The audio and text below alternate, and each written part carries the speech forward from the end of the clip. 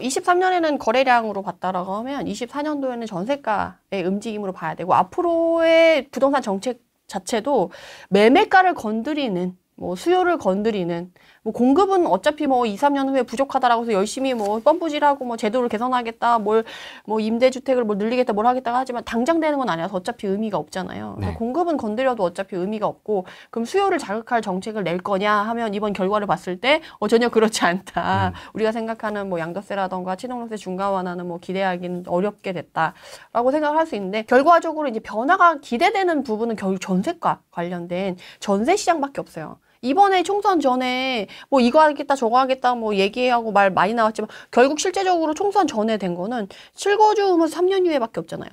그 분양가 상한제. 음. 그러니까 그런 그 걔가 그렇게 될 수 있었던 거는 전세 와 관련된 부분이기 때문에 그게 실현이 된 거고 중간에서 합의가 된 거예요. 다른 부분은 중간에서도 합의가 안 됐잖아요. 결국에는. 네. 그래서 앞으로는 이제 전세 시장이 메인이 될 거고 전세 시장과 관련된 정책만 그런 식으로 약간 진행이 될 것 같고 그 외의 것들은 조금 어렵게 될 것 같다. 그래서 다음에 회복장이 왔을 때 사실은 조금 이렇게 비율이 맞거나 뭔가 빨간 당과 파란 당이 서로 뭐 이렇게 해서 으쌰으쌰해서 부동산 시장을 좀 끌어올릴 생각이 있으면 수요를 어, 끌어올릴 만한 그런 정책이 나오면서 이후에 회복장이 왔을 때 우리가 2014년 4월 1일에 나온 그 양도세 5년 동안 감면해주는 그 정책을 예. 99조 2. 그러니까 그거를 이제 한시적으로 해줬잖아요. 네. 일시적 일가구 뭐 주택이라든가 뭐 미분양 주택 뭐 이런 거. 우리는 사실 그걸 기다리고 있었던 거잖아요. 다음에 맞습니다. 회복장을. 맞습니다. 근데 그거의 가능성이 더 이제 낮아질 수밖에 없는 상황이 된 거고. 그러면 그 시작이 이, 이전에는 그런 식으로 약간 투자를 자극할 만한 그 정책이 기반이 돼서 그때부터 이제 조금 조금씩 나아지면서 이제 반, 분위기가 반전이 된 거였잖아요. 근데 이- 이후에 이제 회복장은 거기로 가기엔 좀 쉽지 않겠다. 라는 저는 생각이 들더라고요. 그래서 음. 23년에 보였던 모습, 그리고 24년에 보였던 모습, 실수요장이 움직이면서 오게 되는 그 장이랑 지- 다음에 올 회복장이랑 이어져서 실수요장의 키워드로 그렇게 조건이 연이어서 가지 않을까 저는 그런 생각이 들어요. 이 키- 핵심 키워드는 전세가 되겠네요. 아니, 전세와 실수요. 왜냐면 매매 수요랑 전세 수요는 달라요. 그래서 지금도 매매를 하는 사람들의 수요는 그런 분들이거든요. 버팀목 대출, 모기지, 뭐 세계 최초, 그러니까 이런 걸 쓸 수 있는 그런 무주택자라던가 이제 막 집을 마련하려고 하는 수요자들 분들이 지금 들어와 계시거든요. 23년에는 가격이 너무 떨어졌으니까 어, 이 가격이면 메리트 있어라고 하는 사람들이 가격을 샀다라고 한다면 24년도에는 그렇지 않아요. 24년도에는 이제 대부분의 사람들이 어- 그러니까 약간 23년도에는 완전 비싸고 좋은 데가 가격이 많이 떨어졌으니까 사겠다라는 사람들이 수요라고 한다면 24년도에는 그런 거 아니고 그 주변으로 좀 가격대가 낮아지면서 주변으로 이제 못 기다리겠다 하시는 분들이 움직이는 장이 지금 24년도 장이거든요. 음. 그러면서 어떻게 되냐면 이제 물론 비싸고 좋은 애들은 변동폭이 커요. 막 22년 하반기에 쫙 떨어졌다가 23년도에 쫙 올랐다가 잠깐 또 숨고르기 했다가 또 요새 또 다시 잠깐 반등했잖아요. 음. 그래서 이렇게 변동폭이 있어. 근데 그렇지 않고 조금 비선호 지역이고 비핵심 지역이고 조금만 외곽으로 나오고 사람들의 수요가 자극되지 않는 그런 데를 가면은 22년 하반기 떨어졌어. 더 떨어질 줄 알고 안 샀는데 23년도에 반등한대. 그래서 어느 정도 반등했어.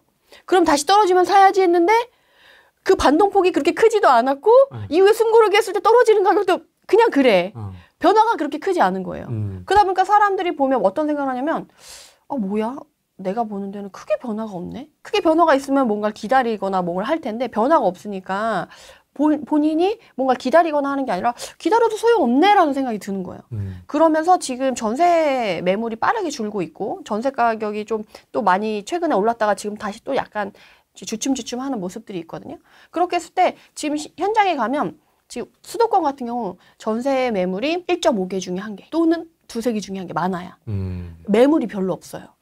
그러니까 그 중에 한 개가 거래되는 거거든요. 뭐 1.5개 중에 한 개, 아니면 두, 두세 개 중에 한 개. 많아봤자 네다섯 개 중에 한 개. 음. 매매는 30개 중에 한 개 거래되고, 20개 중에 한 개 거래되고. 뭐 여전히 어, 이렇게 음. 차이가 확, 확연히 나죠. 그러니까 지금 전세로 다 가는데, 그래서 어떤 지금 24년도 초에 지금 거래가 되는 사람들의 특징은 전세를 구하러 갔어. 전세 매물이 없대. 매물 봤어. 마음에 안 들어. 근데 매매가랑 큰 차이가 없어. 5억 밑에 애들은 거의 그렇거든요. 5천에서 1억 정도밖에 차이가 안 나요. 음. 전세가랑 매매가랑. 음, 음. 그래서 사실은 갭이 2013년, 14년에는 갭이 2천, 그러니까 200만 원대로 평당가 200만 원대로 갭이 줄었다가 막 2021년도 그때 마지막 전고점 그때 시기에는 갭이 700만 원대가 넘었었어요. 음. 평당가가. 근데 지금 500만 원대로 떨어졌거든요. 근데 500만 원대로 떨어졌으면 200만 원대로 떨어질 때까지는 이제 전세에서 매매로 갈아타는 수요가 별로 없겠지라고 생각할 수가 있는데 가격대에 따라서 좀 다르게 시장이 지금 나타나고 있어요. 그래서 지금 5억대 미만, 5억대 전후 같은 경우는 전세 매물이 없다. 그러면 이렇게 옮겨 타시는 분들이 꽤 있어요. 음. 어차피 기다려 봤는데 별로 차이가 없어. 이 가격대에서는. 그러니까 그냥 이참에 그냥 전세에서 매매로 갈아탄다. 많이 기다렸다. 라고 생각해서 실수요자분들 그 사람들만 움직이니까 지금 뭐 서울 기준 뭐 2천 건 전후로 지금 거래가 되는 거죠. 이제 논외 논외. 어, 지금 준비해 오신 자료를 봐도 그렇고 네네. 매매는 뭐 그냥 놔둬도 되겠다라는 신경 안 써도 돼요. 어. 그냥 뭐 움직이지 않을 것 같고 쉽게. 예, 특히나 지금 막 매도자들이 급한 사람들이 이미 1차 하락 때 이미 다 거래를 했고 지금 투자자분들이랑 저희 수강생분들의 분위기는 뭐냐면 아, 이제 드디어 역전세 다 털었다. 약간 이런 분위기예요. 어, 이제 뭐 하반기 한두 개 남았다. 물론 개수 많은 저 같은 경우는 뭐 줄줄이 계속 오지만 네, 네. 이제 투자를 어느 정도 하셨던 분들은 이제 역전세가 거의 마무리되는 분위기예요. 물론 이제 좋게 잘 마무리하신 분도 있고 막 엄청 힘들게 마무리하신 분들도 있지, 있지만 어쨌든 그게 매- 마무리되는 분위기예요. 그럼 그 사람들이 이제 더 싸게 급하게 급매를 내놓을 필요가 없거든요. 지금 매매 매물이 정말 이전 시기와 비교했을 때 정말 최고조에 달했다. 서울 매매 매물 건수가 8만 건이 넘거든요. 이전에 8만 건을 찍었던 적이 별로 없어요. 음. 이렇게 그냥 계속 올라오는 추이거든요. 8만 건이 돼 있다고 하니까 사람들이 와 매매 매물 쏟아져 물건 쏟아지니까 가격 떨어질 거야 라고 하는데 어, 착각이에요. 떨어집니까? 아니요. 음. 8만 건이 나와 있, 잖아요 근데 여기를 조금 더 현장에 나가서 해집어 보면 어떤 걸 알 수 있냐면 8만 건이 나오면 그 단지에 팔고 싶은 매물이 아까도 말씀드렸듯이 30건 중에 한 건 거래되고 20건 중에 한 건 거래되는 거예요. 그럼 팔고 싶은 사람이 얼마나 애타게 팔고 싶겠어요? 그런 느낌이죠. 근데 현장에 가보면 그렇지 않아요. 실제 거래 가능한 금액 매도자랑 매수자랑 어느 정도 수긍이 되는 가격대에는 우리가 시험을 보면 합격점에 막 개미떼처럼 막 점수가 뭐 몰려 있는 것처럼 네, 네. 지금 매물이 그런 식으로 되어 있어요. 그러니까 그냥 매수자도 매도자도 적극적으로 뭔가 하기에는 애매한 가격대에 매물이 많이 나와 있고요. 그 다음에는 어, 팔리면 좋고 안 팔리면 말지 호가 매물들이 나와 있고 그 밑에 진짜 사람들이 매수자가 사고 싶어하는 금매 매물들은 별로 없어요. 음. 한두 개 정도 나와 있고 정말 금매다. 일주일 안에 요, 요즘에도 일주일 안에 거래가 되고요. 아, 그냥 적당한 금매다 그러면 한 달 정도 안에 거래가 되는 수준으로 지금 진행이 되고 있고 마음에 드는 가격대의 매물은 8만 건 뭐 이렇게 뭐 매물이 많다라고 해도 원하는 가격대는 전혀 나와 있지 않아요. 아 진짜 진짜 딱 그 급금매 금매만 겨- 거래가 딱딱 되는구나. 네네네. 아, 이게 차이 심해서. 그래서 저도 지금 뭐 전세 만기 돌아오는 물건들을 뭐 일부는 팔고 일부는 재계약하고 뭐 이런 식으로 진행을 하고 있는데 네. 매도하려고 하는 물건은 실제 거래 가능한 금액보다는 그래도 한 10% 5에서 10% 정도는 싸게 금매로 내려줘야 사람들의 수요가 붙고 음. 그 수요들도 그 정도면 약간 그래도 뭐 어, 어, 결정을 뭐, 하시는 뭐, 분위기더라고요. 그래서 그냥 우리가 생각하는 매수자랑 매도자랑 아, 이 정도 가격이 좀 팔고 싶다라고 하는 그 실제 거래 가능한 매물에는 매물도 많고 거래는 그렇게 되진 않고. 아, 근데 요새 좀 시장이 되게 혼란스럽잖아요. 전문가분들의 의견도 많이 갈리고. 엄청 갈립니다. 예, 뭐 올라간다. 막 개폭락한다. 막 진짜 막 싸우려면 진짜 진영이 골고루 잘 분산이 되는 것처럼 어. 시장이 다시금 혼란스러워졌어요. 지금만큼 이게 의견이 갈릴까 싶기도 해요. 진짜 어마어마합니다 지금. 그죠? 의견이 너무 달라가지고. 오, 이전에는 막 하락할 때는 정말 너도 나가도 다 막 개폭락 막 하락장 이렇게 얘기했는데 지금은 많이 갈렸잖아요. 그게 지금 뉴스에서 보면은 다시금 뭐 이런 식으로 천장 뚫린 분양가 지방도 평당 2천만 원 시대다라고 하면서 뭐 지방도 뭐 분위기 좋은 것처럼 네. 분양가 엄청 좋은 것처럼 얘기를 하고 전세가 고공 행진에 고개 드는 집값 반등론 그리고 총선 전후에 집값 바닥론도 한참 난리가 났었어요. 집값 바닥론이라고 해서 실제로 그럼 집값 바닥론이냐라고 해가지고 제가 라방에서도 얘기를 했었는데 저는 전혀 아니라고 생각하거든요. 음. 아직도 하락장 중간에 있고 상승장에서도 상승과 하락을 반복하면서 상승을 하고요. 하락할 때도 상승과 하락을 반복하면서 하락을 하거든요.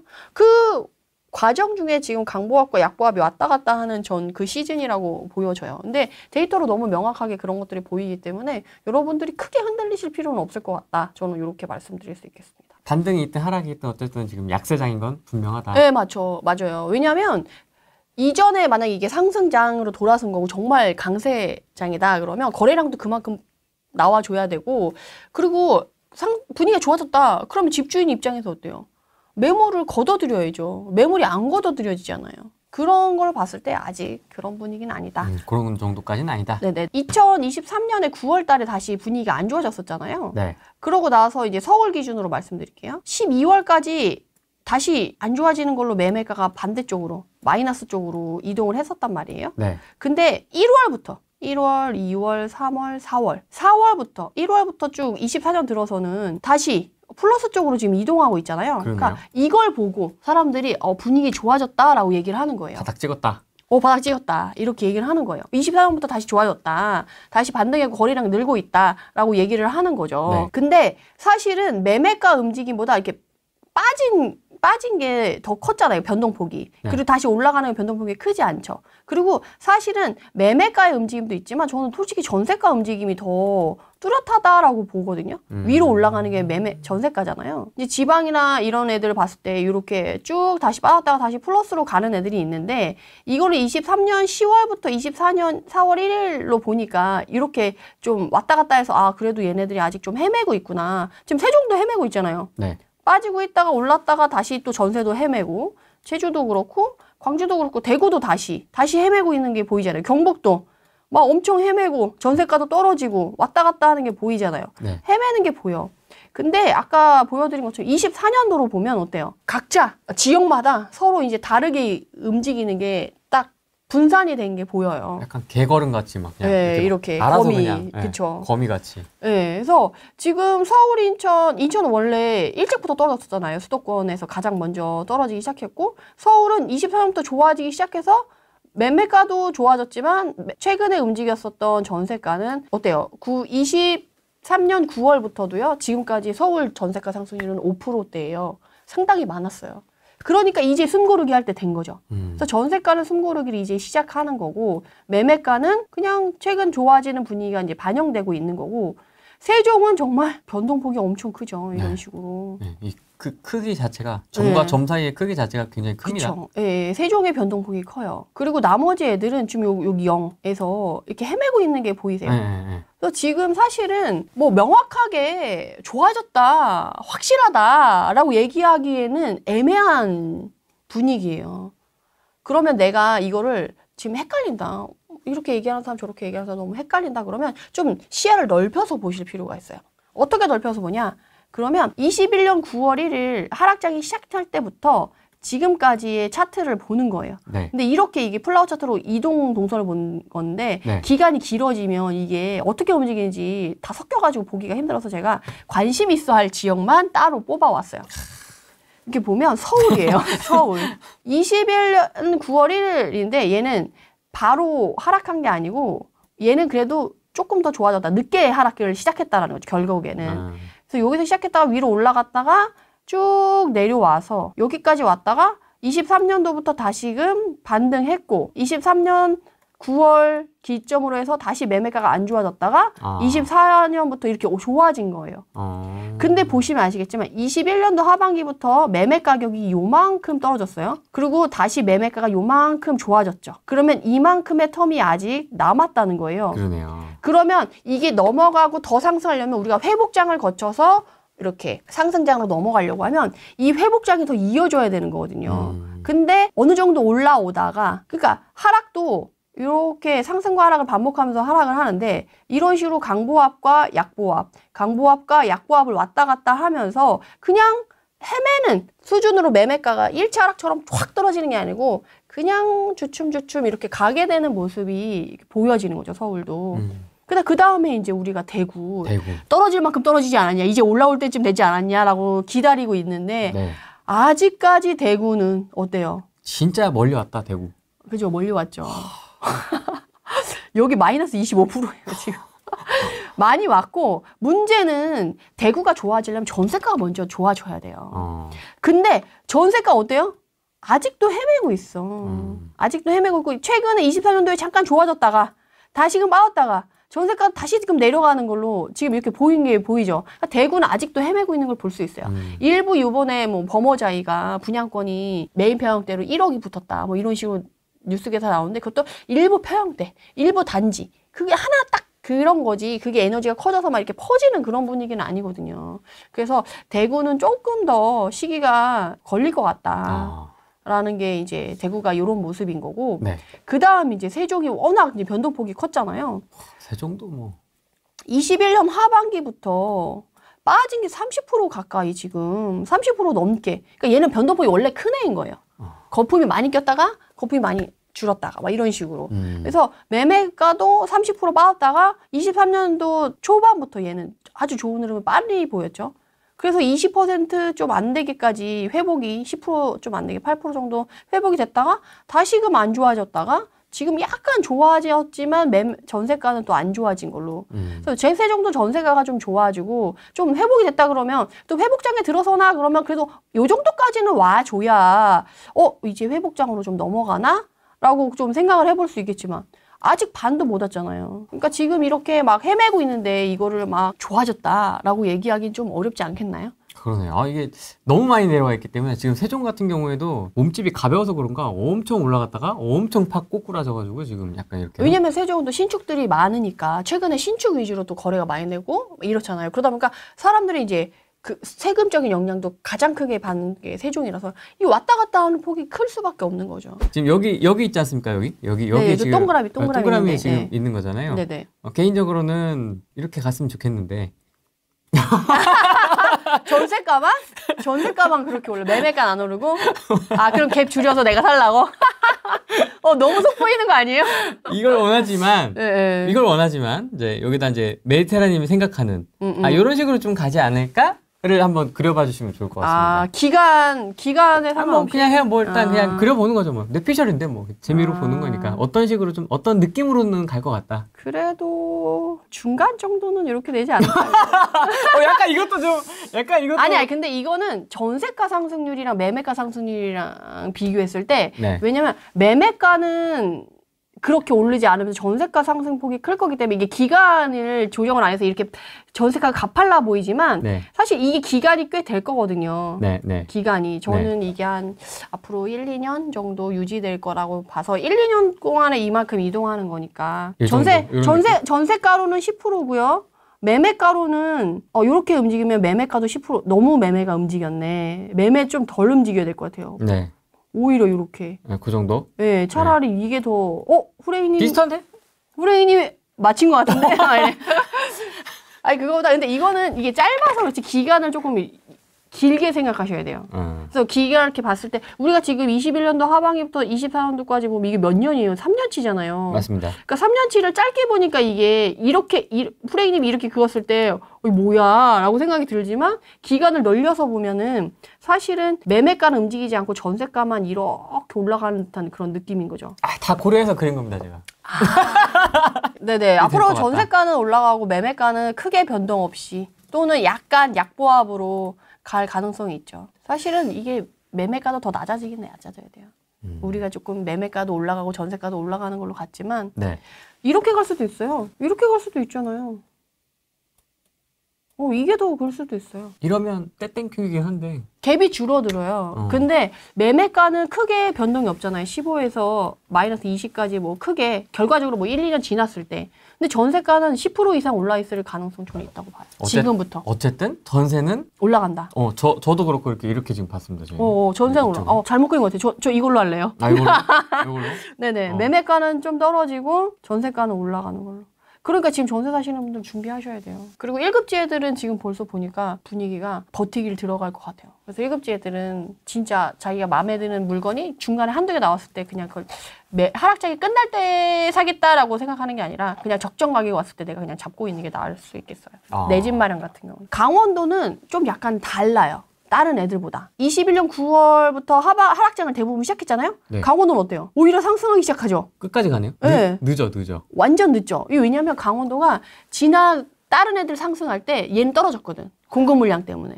기업 도시, 혁신 도시 이런 애들 때문에 공급 물량이 쏟아져 가지고 얘는 그때도 상승을 잘 못했어요. 그래서 뒤늦게 오른 거지 얘는. 뒤늦게 오르다가 뒤늦게 하락장에 가세를 하다 보니까 어때요? 상승량이 못 올랐고 뒤늦게 올랐는데 상승폭이 크지 않으니까 떨어지는 폭도 그렇게 크지 않고 오른 게 별로 없으니까 회복하는 것도 그렇고 그래서 거의 뭐 크게 왔다가 다른 애들이 뭐 왔다 갔다 하는 거에 비하면 3분의 1 수준밖에 안 되는 거죠 지금. 음. 그나마 그래도 최근에 가장 좋은 가격대를 많이 떨어지지 않고 유지되고 있는 게 강원도예요. 아. 변동폭이 오히려 지역의 시도의 구분으로 봤을 때 가장 변동폭이 작은 지역이다라고 어떻게 보면 볼 수가 있는 거죠. 어. 그래서 최근에 이제 또 지방을 리드하는 지역이 이제 충남이잖아요. 천안, 충남. 아산. 어, 천안아산 얘기 요새 많이 나오더라고요. 그러니까요. 어. 뭐 어떤 분들은 뭐 지방은 앞으로 지방 부동산은 끝났다. 지방은 절대 보면 안 된다. 뭐 앞으로 뭐 2, 3년은 지방은 절대 안 된다. 막 이렇게 뭐 그런 분위기를 또 이끌어 가시는 분도 계시고 되- 계신데 사실은 이제 지방도 지방 나름이잖아요. 천안, 아산, 청주 요 정도까지는 이제는 걔네는 이제 수도권으로 봐줘야 되거든요. 어, 최진권 대표가 뭐 의견을 같이 하시네요. 아, 저는 전부터도 그렇게 얘기했잖아요. 지방의 수도권화, 수도권화된 지방 이렇게 해서 네. 걔네들은 웬만한 수도권보다 자급자족 도시로 그렇게 되기 때문에 이제는 그 세 도시 같은 경우는 지방으로 취급을 하면 안 되는데 최근에 또 청주보다도 천안 아산 쪽이 훨씬 좀 뿜뿜을 받고 있잖아요, 에너지를. 네. 그렇게 했는데 천, 충남을 봐도 지금 하락장이 시작되고 나서 헤매고 지금 밑에서 지금 놀고 있는 게 지금 보이죠? 그러니까 지방이 물론 이제 이후에 이제 수도권과 이제 지방이 이원화 될 거예요. 지금은 다 같이 움직였잖아요. 안 좋은 쪽으로 다 같이 움직였는데 네. 이제는 지방과 수도권이 이원화되면서 지방이 조금 더 먼저 움직이지 않을까 저는 그런 생각을 하고 그 지방을 리드하는 게 이제 천안, 아산, 청주가 될 거다라고 저는 생각을 하고 있는데 음. 그 충남조차도 아직까지는 그렇게 뚜렷한 움직임을 못 보일 정도로 지방도 이제 시작됐다라고 보기는 조금 어렵죠. 그럼 충남은 좀 최근에 분위기가 좋은 이유가 뭔가요? 아니면 좀 관심을 많이 받고 있는 이유가 뭔가요? 거기 일자리가 쏟아지잖아요. 그리고 삼성이 또 몇 조 투자하겠다고 계속 얘기하고 특히나 이전에는 충남이 거의 천안이 리드를 하다시피 했는데 천안이랑 아산이랑 원래 형제 같이 이제 생활권도 같이 하고 아산에 일자리를 갖고 주거는 천안에 하고 뭐 이런 식으로 해서 둘이 이제 시너지를 보면서 같이 움직였었는데 네. 그래 그럼에도 불구하고 천안 자체가 도시 규모가 그렇게 크지 않기 때문에 에너지가 작았어요. 근데 이제는 아산도 그거를 같이 할 수 있게끔 에너지를 크게 만들 수 있을게끔 아산이 주거 지역이 확장되고 거기가 마련이 되고 신축이 들어섰어요. 그러니까 예전에는 아산에 일자리 호재가 있으면 천안이 다 가져가고 그 천안의 큰 에너지로 충남의 에너지를 올려줬는데 이제는 아산도 똑같이 올려줄 수 있을 만한 주거 지역이 마련되고 있어서 그 에너지가 이제 좀 더 커질 거다. 라고 생각을 할 수가 있는 거죠. 근데 그런 이유가 아산이 지금 공급 물량이 쏟아져요. 많아요. 근데 문제는 생각보다 전세가가 받쳐준다는 거예요. 그러니까 제가 이 이야기 되게 여러 번 드렸었는데 아파트가 늘어나서 인구가 늘어나는 거랑요. 일자리가 늘어나서 사람이 늘어나는 거랑은 차이가 있어요. 근데 아산은 일자리가 늘어나서 사람이 늘어나서 아파트가 늘어나는 형국이에요. 근데 아파트를 먼저 때려서 짓고 가격 괜찮으니까 여기 사람들을 보고 와서 살아라 라고 해서 신축 때문에 아파 인구가 그쪽에 일시적으로 늘어나는 도시가 있거든요. 그거랑 아산은 틀린 거예요. 그런 부분에서 아산이 좋은 거고 지금 충남에서 보시면 아시겠지만 전세가가 좋아요. 전세가가 바닥을 찍고 이렇게 올라가 있잖아요. 네. 매매가는 왔다 갔다 할지라도 전세가는 지금 올라가는 추세가 돼 있잖아요. 아산이 지금 공급량이 많음에도 불구하고 전세가 정말 탄탄해요. 그래서 조금 분위기가 더 좋지 않나. 그리고 아산의 신축 그 부지 가보세요. 웬만한 수도권보다 깔끔해요. 후레기님이 딱 좋아할 만한 그런 깔끔함. 평지에. 예, 스트레이트 영상과 쫙 나오고 그, 그 모던한 그런 느낌. 응, 응, 응. 인프라가 쫙 깔려 있는. 네. 어, 아산이 지금 그렇게 조성이 되고 있어요. 주거 지역이. 어. 그래서 막 요새 또 물어보는 질문이 신불 땅보다 그럼 아산이 더 좋아지냐 이런 질문 많이 하시더라고요. 신불당 되게 좋은데. 신불 땅이 좋은데 그래도 이제 연식이 좀 됐잖아요. 근데 이제 아산은 새롭게 떠오르는 지역이고 직주 근접에서는 더 좋은 거지. 그래서 그러면 신물 땅을 버리고 사람들이 이제 갈 거냐라고 했을 때 지금 분위기는 신축만 거래되고 구축은 거래가 안 되는 분위기니까 지금은 이제 아산으로 가는 것처럼 보이는데 초두 효과라는 게 있어서 그걸 다 옮겨오진 못하겠지만 어쨌든 양쪽에 같이 이렇게 가지 않을까 저는 그런 생각이 좀 들긴 해요. 근데 아무래도 천안보다는 규모가 그렇게 막 확 크지는 못하겠지만 아산 자체가 이렇게 조금 주거 지역이 형성되는 것도 좀 작아요. 지난번에 우리 아산 잠깐 봤, 봤을 때 그 밑에 창정지구 밑으로 이제 주거 지역이 조금 생기고 있는데 그보다 조금 더 이제 커져야죠. 그래서 그게 이제 온양 온천역까지 연결이 되고 천안까지 좀 연결이 돼야 되는데 아직은 조금 주거 지역으로 마련되는 게 좀 작아서 앞으로 조금 좀 지켜보면 좋을 것 같아요. 아 이제 여러분들 입주장 준비하셔야 됩니다. 입주장. 네네 드디어 올림픽 파크포레온 입주장이 시작이 돼. 언제죠? 몇 월이죠? 원래 25년 1월이었거든요. 근데 땡겨졌어요. 24년 11월로. 음. 그래가지고 사실 이게 부동산지인 자료인데 25년에 이 3만 8천 요 입주 세대 수가 여기가 올림픽 파크 보리온 12,000 세대가 여기 포함된 수치거든요. 네. 근데 이 얘기가 24년도 넘어왔잖아요. 네. 이쪽으로 옮겨줘야 되는데 안 옮겨졌어요, 이게. 음. 요새 최근에 분양을 이게 여기 수요 입주에 나오는 양은 분양을 해서 분양한 단지를 대상으로 해서 이 수요를 조사한 거예요. 네. 입주 공급 물량을. 네. 근데 최근에 어떤 일이 일어나냐면 공사하다가 중간에 멈춘 애들도 있고 네. 많을 거. 뭐 예, 둔촌주공 같은 경우는 중간에 뭐 멈췄다가 다시 하고 하면서 기간이 왔다 갔다 되면서 최근에 다시 길어지면 길어질수록 공사비가 많이 들고 내야 되는 분담이 커지니까 그래도 그것 때문에 좀 더 땡긴 것 같아요. 그래서 11월로 땡겨졌단 말이에요. 근데 이게 데이터에는 반영이 안 돼. 음. 그러니까 이제는 입주장을 볼 때 여러분들이 관심 있는 데는 발로 뛰면서 아니면 주변에 이런 식으로 중간에 호경호나 이런 것도 바뀌었더라고요. 네이버 아. 부동산 이런 데는 바뀌었는데 여기는 안 바뀌었어요. 그러니까 각 데이터를 각 비교를 하면서 그걸 놓치지 않게끔 여러분들이 cross check를. 네, cross check를 해야 될 것 같아요. 그래서 보면 올림픽 파크 포레온이 지금 25년 1월에 어, 거기 있습니다. 그쵸, 둔촌동 170 다시 여기 여기 여기. 여기 여기 네. 여기 여기 올림픽 파크 보레온 네. 이게 지금 12,000 세대가 25년 1월에 돼 있잖아요. 근데 이게 지금 24년 11월로 옮겨졌어요. 어. 근데 지금 서울에 이 서울의 입주 물량을 갖고 온 거거든요. 24년 4월부터 25년 4월까지 1년 동안에 남은 앞으로 다가오는 1년 동안에 입주 물량을 가져온 건데 36개 단지가 입주를 하고요. 네. 3만 1000세대가 입주를 해요. 네. 그렇게 작지 않잖아요. 네. 네. 그리고 지금 보시면 용산구, 성북구, 서대문구, 구로구 뭐 이렇게 보면 입주량이 그래도 어느 정도 되는 걸 보면 강동구, 강북구, 송파구, 문정동, 강동구, 천호동, 그리고 올림픽 파크 포레온, 광진구, 자양동, 성북구, 장위동. 어, 대단지들이 중간중간에 몇 개 있고 이렇게 조금 조그만 거는 뭐, 뭐 38세대 들어온다고 흔들리겠어요? 그렇죠. 네, 그래서 큰 세대 위주로 보는데 우리가 봐야 될 건 어쨌든 올림픽 파크 포레온이 메인이니까 올림픽 파크 포레온이 사- 땡겨지면서 지금 송파랑 강동구는 그러니까 서울 25개구 전세가 상승률을 보면 다 시뻘개요. 근데 강동구랑 송파구만 펄해요. 음. 왜냐하면 올림픽 파크 포레온이 11월에 입주인데 지금도 전세 물량이 나오기 시작하거든요. 물론 바로 입주는 안 돼서 상관이 없어서 지금 사실 11월에 입주라고 하면 2, 3개월 전부터 어, 전세를 알아보잖아요. 그러면 2, 3개월 전이면 9월부터 본격적으로 집을 계약하고 알아본단 말이에요. 음. 근데 지금 9월이랑 비교해서 4월이니까 아직도 5개월이나 남은 거예요. 네.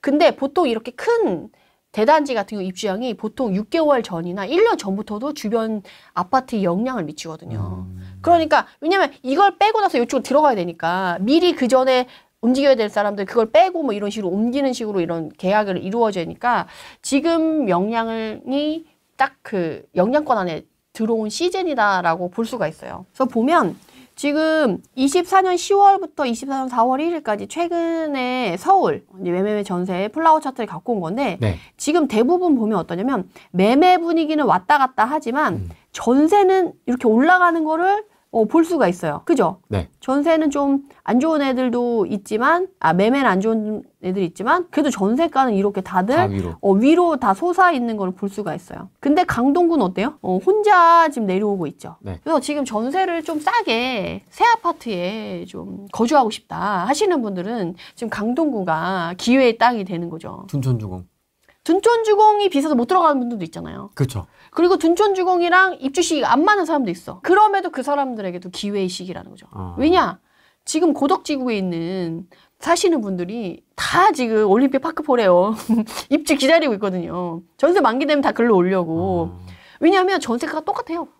크게 차이가 없어요. 그래서 그 여기서 또 그 전세가 차이가 없다는 거에 대해 여러분들이 놓치지 말아야 될 건 12,000세대인데 무려 12,000세대인데 기존에 있는 준신축이랑 신축들의 전세 가격이랑 큰 차이가 없다라는 건 얘네가 아직까지 배짱을 튕기고 있다. 라는 거예요. 음. 왜냐면 준신축급 애들은 이제 전세 매물 나와봤자 한두 개 나오고 만기 다가온 애들이 뭐, 뭐 다섯 개 내외로 나올 텐데 얘네는 한꺼번에 막 몇천 세대씩 쏟아지는 거잖아요. 근데도 이제 전세가가 똑같다는 건 아직까지는 얘네가 가격을 막 급하지 않으니까 내릴 필요가 없는 거지. 그래서 사실은 지금 전세 매물이 올림픽 파크포레온 보시면 지금부터도 지금 전세가 1116개가 나와 있어요. 올림픽 파크 포레온이. 아. 지금 보이시죠? 24년 12월로 이제 입주가 땡겨졌어요. 그러네요. 그리고 얘가 세대 수가 많다 보니까 다른 입주장 같은 경우 한 2, 3개월 정도 주거든요. 입주할 때까지. 근데 얘는 한 4개월 준다라고 뭐 얘기가 나오더라고요. 근데 벌써 1116개 나왔어요. 이 실거주 의무 3년 유예 정말 최대 수혜 단지가 되는 거죠.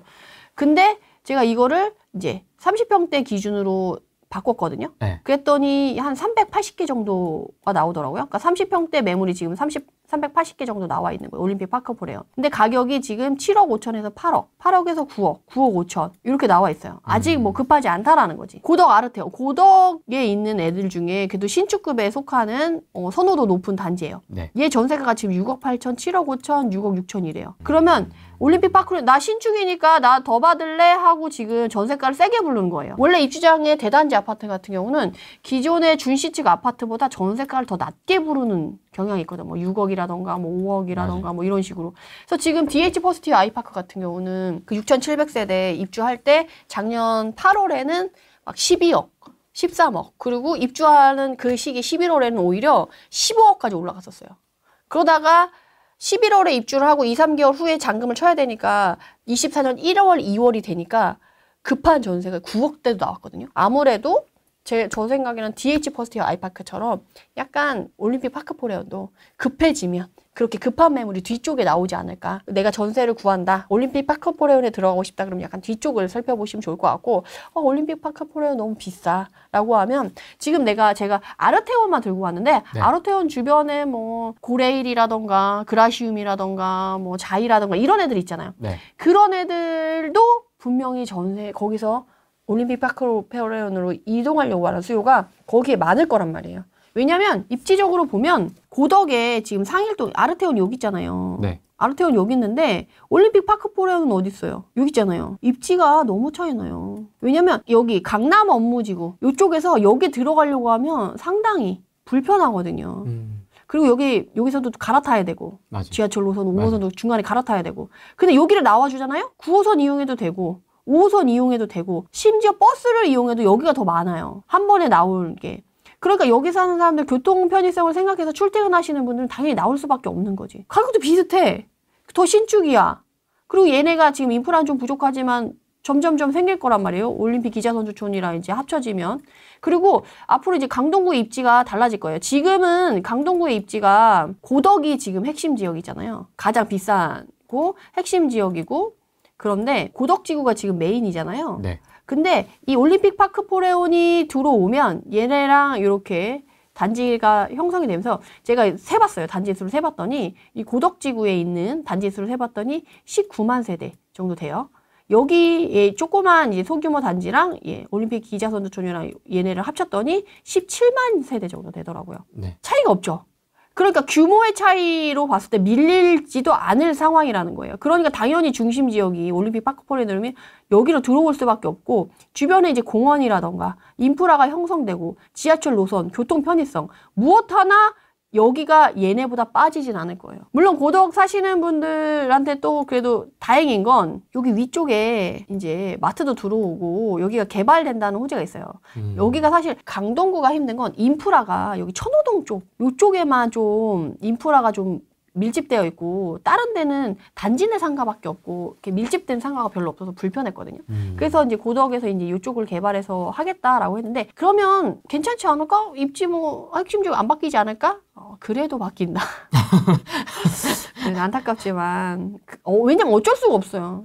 아, 입지가 이런데. 예, 누가 봐도 서울이랑 더 가깝고 교통이 훨씬 편하고 더 대단지고 그렇게 수요가 몰리면 돈이 몰리고 인프라가 되고 사람이 몰려야 돈을 쓰고 그 돈을 쓰는 걸로 돈을 모아서 인프라를 개발하고 이런 게 선순환이 이루어지는 구조가 나와줘야 되는데 여기가 훨씬 그 선순환이 이루어지기 좋은 입지이기 때문에 네. 어, 입지가 바뀔 거다. 그래서 음. 한동안 이 입주가 시작이 되면 이 고덕지구에 있는 여기 지역 전세가가 비슷하거나 그보다 조금 더 낮았다는 애들 충분히 넘볼 수 있는 사람들의 수요가 다 이쪽으로 넘어올 거예요. 그럼 이쪽이 비게 되겠죠. 그럼 어때요? 여기는 지금 둔청동 올림픽 파크포레어는 실거주무 3년 유예를 했지만 물건이 안 나오잖아요. 당장은 안 나오잖아요. 금매나 뭐 매매를 할 수 있는 매물이 전혀 안 나오잖아요. 그러니까 매매를 할 수 없으니까 팔 수 있는 얘네들을 팔고 여기로 넘어오려고 하는 수요가 있지 않겠어요? 음. 그래서 올림픽 파크 포레온이 실거주 의무 3년 유예 안 하고 그냥 실거주 바로 들어가신 분들도 이 양도세 비과세 받으려면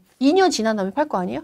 그러면 지금 24년 11월에 하면 25년 11월, 26년 11월 그때 돼서야 이제 매매할 수 있는 물건들이 나오겠죠. 그리고 그때 매물 하락장이 그때 시기가 얼마나 이제 저점 인근에 있냐. 어, 아니면 회복의 분위기가 보이냐 그거에 따라 좀 다르겠지만 그때 뭐 금매가 나오냐 안 나오냐에 따라서 그때도 분명히 강동구의 고덕이랑 같이 흔들릴 거예요. 앞으로 고덕은 올림픽 파크 포레온과 흐름을 같이 하게 될 거다. 대신에 올림픽 파크 포레온은 조금 더 선방을 하게 될 거고 고덕은 조금 힘들어질 수 있는 거죠. 충분히. 여기도 당연히 팔고 여기로 가고 싶지 않겠어요? 음, 가격이 그쵸. 비슷하다라고 하면. 음. 그래서 핵심 지역도 옮겨가고 고덕은 좀 힘들 수 있다. 올림픽 파크 포레온의 입주장이 시작되거나 매물 매물 거래가 시작되면. 둔촌주공 전세가 더 내려갈 거라고 보시나요? 네네. 어, 내려가야죠. 내려가야죠. 안 내려갔어요 지금. 지금 여유가 있으니까 그냥 자기가 원그 원하는 그 정도 요 정도는 받아야지 하는 가격이 지금 나와 있는 거예요. 급한 매물이 없어요. 음, 시간이 지나면 12,000세대잖아요. 기한이 다가오니까. 우리 헬리오 때 이미 경험했잖아요. 그 상승장이고 분위기 좋고 전세가 많이 올라가는 그 시즌에도 헬리오 만세대 입주하니까 송파구 전체도 흔들리고요. 서울의 평균가도 어느 정도 이렇게 주춤하게 만들 정도로 그 영향력이 엄청 컸어요. 근데 지금 은 하락장이잖아요. 하락장이니까 전세가에는 더 수요가 몰려있는 상황이라서 좀 헬리오보다는 좀 덜 할 수는 있는데 그럼에도 불구하고 어, 흔들릴 수밖에 없는 세대가 세대가 너무 규모다. 어, 흔들릴 수밖에 없는 규모다. 그러면 둔촌주공 가지고 계신 분들 있을 수 있으니까 아마 있을 겁니다. 안 급해요, 이분들은. 네. 그러면 이 입주장 때 전세 맞추는 팁 같은 게 좀 있을까요? 소소한 팁? 아, 내가 갖고 있는 사람이라면. 네. 네. 그쵸. 이제 뒤로 갈수록 전세가, 잔금이 가까워질수록 전세가 떨어질 수 있으니까 차라리 초반에 네. 다른 사람들이 막 8억, 9억이 내나. 그럼 난 그거보다 조금 낮게 내는 거예요. 그래서 이, 아, 이게 제일 싸네라고 해서 초반에 맞추는 게 더 나을 수도 있어요. 왜냐면 강동구가 학군 지역이 아니잖아요. 근데 11월에 입주란 말이에요. 근데 11월, 12월, 1월, 2월 이때는 학군 지역이 거래량이 많이 나오는 대세의 시즌이에요. 근데 강동구는 학군 지역이 아니야. 그래서 그 학군 수요가 이 올림픽 파크 포레온에 몰릴 가능성은 또 많지 않죠. 그러다 보니까 제 생각에 뒤로 갈수록 잔금 치를 여력이 안 되면 네. 급해지잖아요. 그러면 전세가를 낮출 수밖에 없으니까 차라리 앞쪽에서 다른 사람이 내놓은 것보다 싸게 내놔서 그냥 초반에 그냥 맞추는 게 낫지 않을까 저는 그런 생각이 듭니다. 뉴스에도 정말 엄청 나오고 정말 난리가 아니었지 않습니까? 뭐 그- PF부터 시작해서 네. 2023년 뭐 얘를 위한 정책이 이 단지가 메인이 될 수밖에 없어요. 항상 대표적으로 거론되고. 모든 그 어떤 강동의 어떤 아파트의 이슈의 중심에 서 있었는데 그러니까. 결국엔 되네요. 또 이렇게 들어가네. 그러니까 이슈가 되니까 또 입지도 땡겨올 인지도가 되잖아요. 얘는 물건이죠, 물건. 어 진짜 강일동 대 미사 어디가 낫나요? 미사가 더 비싸요. 그래요? 강일동은 입지가 애매해요. 강동구지만 미사보다 약간 보면 전세가랑 매매가도 미사가 더 비싸요. 음. 강일동은 어, 저렴하게 좀 가성비 있게 거주하고 싶으신 분들이 들어가는 지역이고 그래서 강일동에 요번에 어, 실거주만 3년 유예 시작 그, 그 통과되기 전에 입주를 시작한 단지가 있었거든요. 걔네가 오히려 주변 애들보다 전세가가 조금 몇 개 안 나왔는데 고덕이랑 비슷했어요. 근데 원래는 좀 더 싸게 나왔어야 되는 거죠. 입지가 강일동은 애매해요. 고덕이 이렇게 돼 있고요. 강일동이 이렇게 돼 있는 거예요. 뭔가 그래서- 공원이 많네. 예. 얘가 원래 이편한 세상 고덕 어반 브릿지가 최근에 입주를 했거든요. 예. 그러니까 이 얘가 2월인가 했어요. 실거주 의무 3년 후에 그거 통과하게 되기 전에. 그래서 네. 얘가 먼저 시작을 해서 실거주 의무가 묶여 있으니까 전세가 안 나왔었어요. 그래서 뭐 변호사가 붙어서 계약서를 쓰네 어쩌니 막 말- 많이 나왔거든요. 근데 얘가 원래는 이표란사 이름이 강일 어바브릿지였어요. 근데 강일이란 브랜드 자체가 지역명이 좋지 않으니까 고덕으로 바꾼 거예요. 제가 어떤 뉘앙스로 말씀드리려고 이걸 예를 들었는지 알겠죠? 네.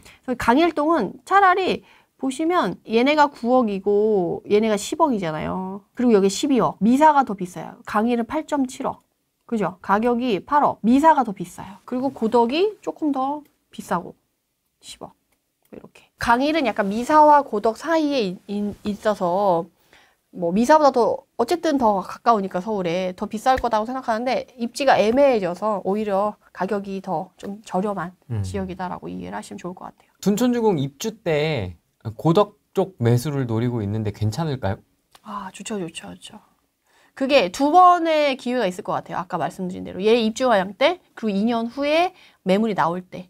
그래서 그 두 개 중에 어, 본인의 상황에 더 유리한 거를 고르시면 될 것 같아요. 강일은 추후 비즈밸리 영향 없을까요? 얘도 영향이 당연히 있죠. 왜냐하면 인프라가 이제 여기에 집약돼서 만들어지는 거고, 여기 있는 사람들도 다 여기 이용하게 될 거고, 여기도 여기를 이용하게 될 거란 말이에요. 당연히 영향이 있죠.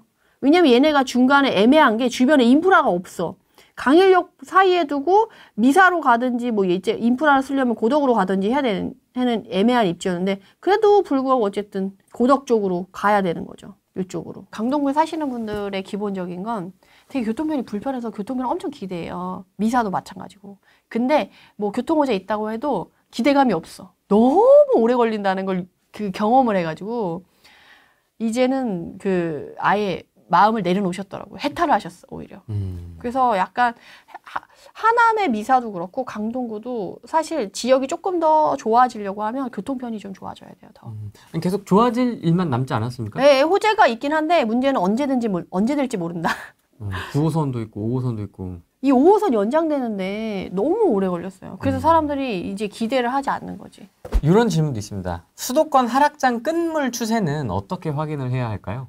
우선 규제 완화와 활성화 정책이 나와줘야죠. 왜냐면 끝물에서 그렇게 되면 이 상승장의 끝물에 규제 정책이 정말 끝판왕이 많이 나왔잖아요. 그것처럼 하락장이 되면 이제 시장을 어느 정도 너무 내려가 있기 때문에 그걸 이렇게 뿜뿜 해주기 위한 규제 완화와 활성화 정책이 나와줘야 되고 뉴스에서도 그때 되면 정말 안 좋을 때는 진짜 초초초 금매도 거래 안 된다. 막 이런 식으로 부동산은 끝났다. 이런 식으로 나와줘야지 이제 지- 저점 인근에 왔었, 왔다라고 생각을 할 수가 있어요. 지금은 혼란스럽잖아요.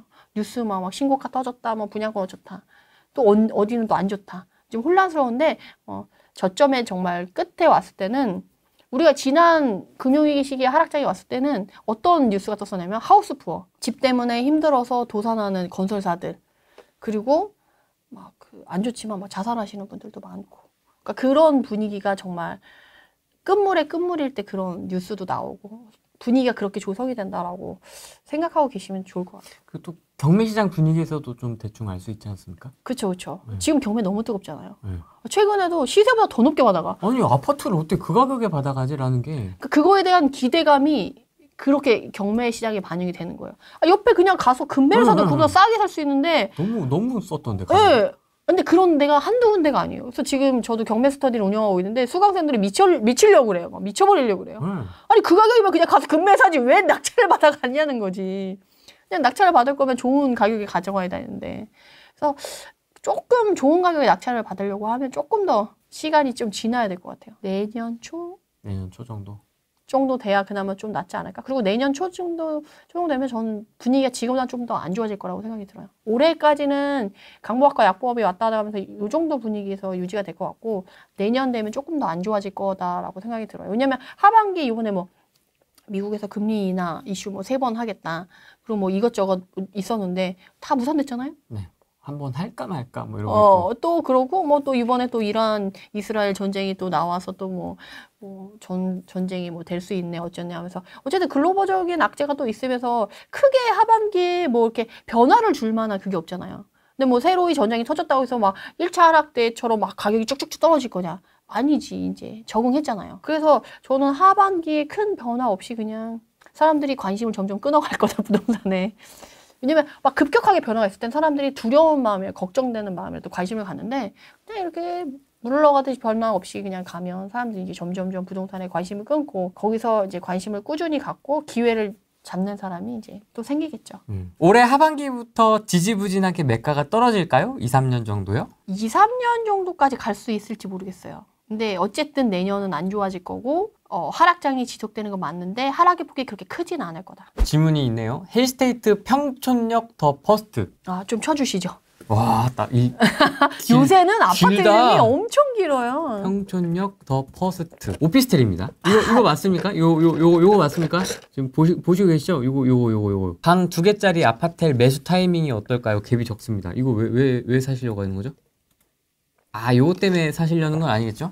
딱 붙어서? 이유를 들어봐야 될 것 같아요. 어, 이유가 좀 필요할 것 같은데 이건 뭐 갭이 작다고 사실 건 아닐 것 같고 뭐 이유가 그리고 있겠죠? 오피스텔을 뭐 이유가 있겠죠?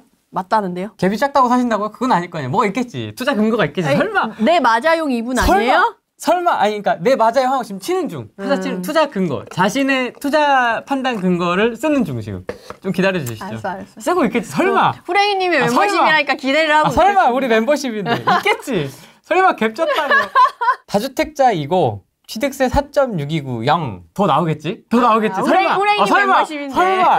설마. 설마 4.6 가지고 사진 않겠지. 4년 묵히고 팔까 해서 0. 아, 더 있을 거야. 더 있을 거야. 더 있을 거야.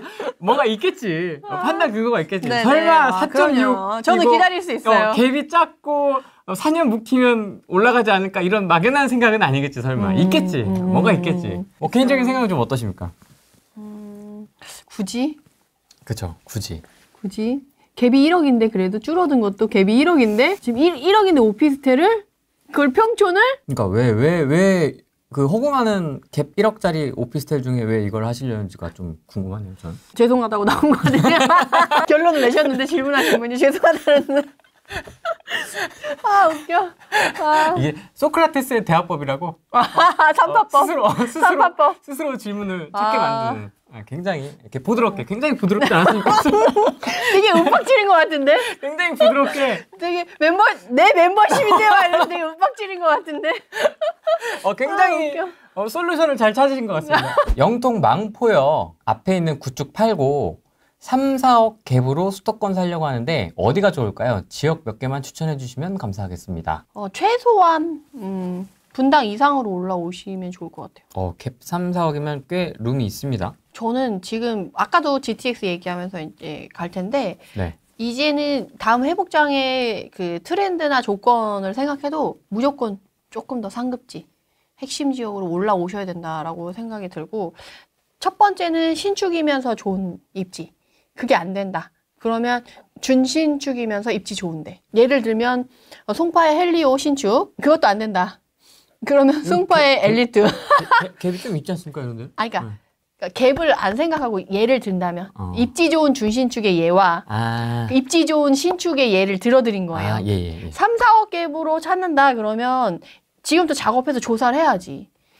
그리고 이제 본인이 실거주 하실 거 아니에요? 그냥 투자, 투자만 하실 투자 건가? 아닐까요? 예. 그러면 뭐 본인의 실거주랑 상관없이 3, 4억 갭으로 갈 수 있는 가장 좋은 단지 리스트를 뽑아야지. 근데 지금 되게 또 막 변하고 있잖아요. 그래서 그거를 막 저도 3, 4억 갭을 무조건 이거 하세요. 저는 이게 컨설팅하거나 찍어주는 사람이 아니라서 그렇죠. 그거를 이렇게 갖고 있진 않은데 제가 3, 4억 갭이면 23년도에 그때 3, 4억 갭으로 되게 좋았던 게 성남시에 있었어요. 딱 찍어주지는 못하겠지만 성남시에 있었어. 3, 4억 갭에. 혹시 저희 방송했던 것 중에 내용이 나왔던 네네. 후랭이님 방송을 열심히 지켜보시면, 어, 그쪽도 것 있었고, 같기도 하고. 네네네. 정, 뭐, 안 된다고 하면, 광명이 조금 더 떨어지면, 광명도 괜찮을 것 같고. 아, 그러니까, 제가 어떤 뉘앙스로 말씀드리는 거죠. 서울의 언저리, 아니면 아예 서울에. 근데 서울에 막 그런 데 있잖아요. 그러니까 서울에 완전 그 평당가가 제일 낮은 급지보다는 그래도 서울에 붙어 있는 경기도의 머리, 용의 꼬리 말고, 대가리. 어, 뱀의 머리. 그쪽으로 이렇게 가시는 게 훨씬 좋을 것 같아요. 아까 3, 4억 얘기하실 때 분당 얘기하셔가지고 지금 총선 끝났지 않습니까? 분당 선도지구 이제 이런 거는 노후 계획 도시는 어떻게 되는 거죠? 아, 별로 재미없을 것 같다. 내가 일기 신도시다 이렇게 얘기하기엔 좀 그런데, 아, 별로 그렇게 재미있을 것 같지가 않아요. 물론 이제 속도 빨리 가서 뭐 좋을 수는 있는데 네. 우리가 결국 원하는 건 시대 차이잖아요. 얼마나 향후 돈을 이렇게 할 수가 있겠냐. 그래서 뭐 이후에 뭐 회복장이 되고 하면 새 아파트가 돼 있으니까 그게 좋겠지만 우리는 그 회복장이 되고 상승장이 됐을 때 그 가격을 원하는 게 아니라 지금 당장 좋아지는 가격을 보고 싶은 거잖아요. 네. 근데 지금 공사비 인상하고 뭐 이런 거 했을 때 솔직히 그거 민간이 지어야지 공공이 짓겠어요? 민간 사업자 들어와가지고 짓지? 근데 걔네들이 마, 마이너스 보내면서 그 입찰 하겠어요? 그렇게 봤을 때는 저는 쉽지가 않겠다. 물론 혜택이나 뭐 행정 절차 빠르게 해주고 뭐 혜택을 해주고 공공기여 해가지고 요번에 뭐 35층까지 올릴 수 있다 뭐 이렇게 올릴 뭐 이렇게 할 수 있는데 지금 이미 갖고 있었던 사람이 가면 재미를 볼 수가 있겠죠. 근데 지금 내가 들어간다? 그럼 재미 못 보죠. 음. 아무리 선도지구가 되더라도. 음. 저는 그렇게 생각해서 지금은 일기 신도시를 어떤 관점으로 보면 되냐면 네. 재건축의 관점으로 보시지 마시고요. 그냥 거주 만족도가 높으면서 앞으로 입지가 좋은 준신축급에서 인프라 좋은 데 살고 싶다.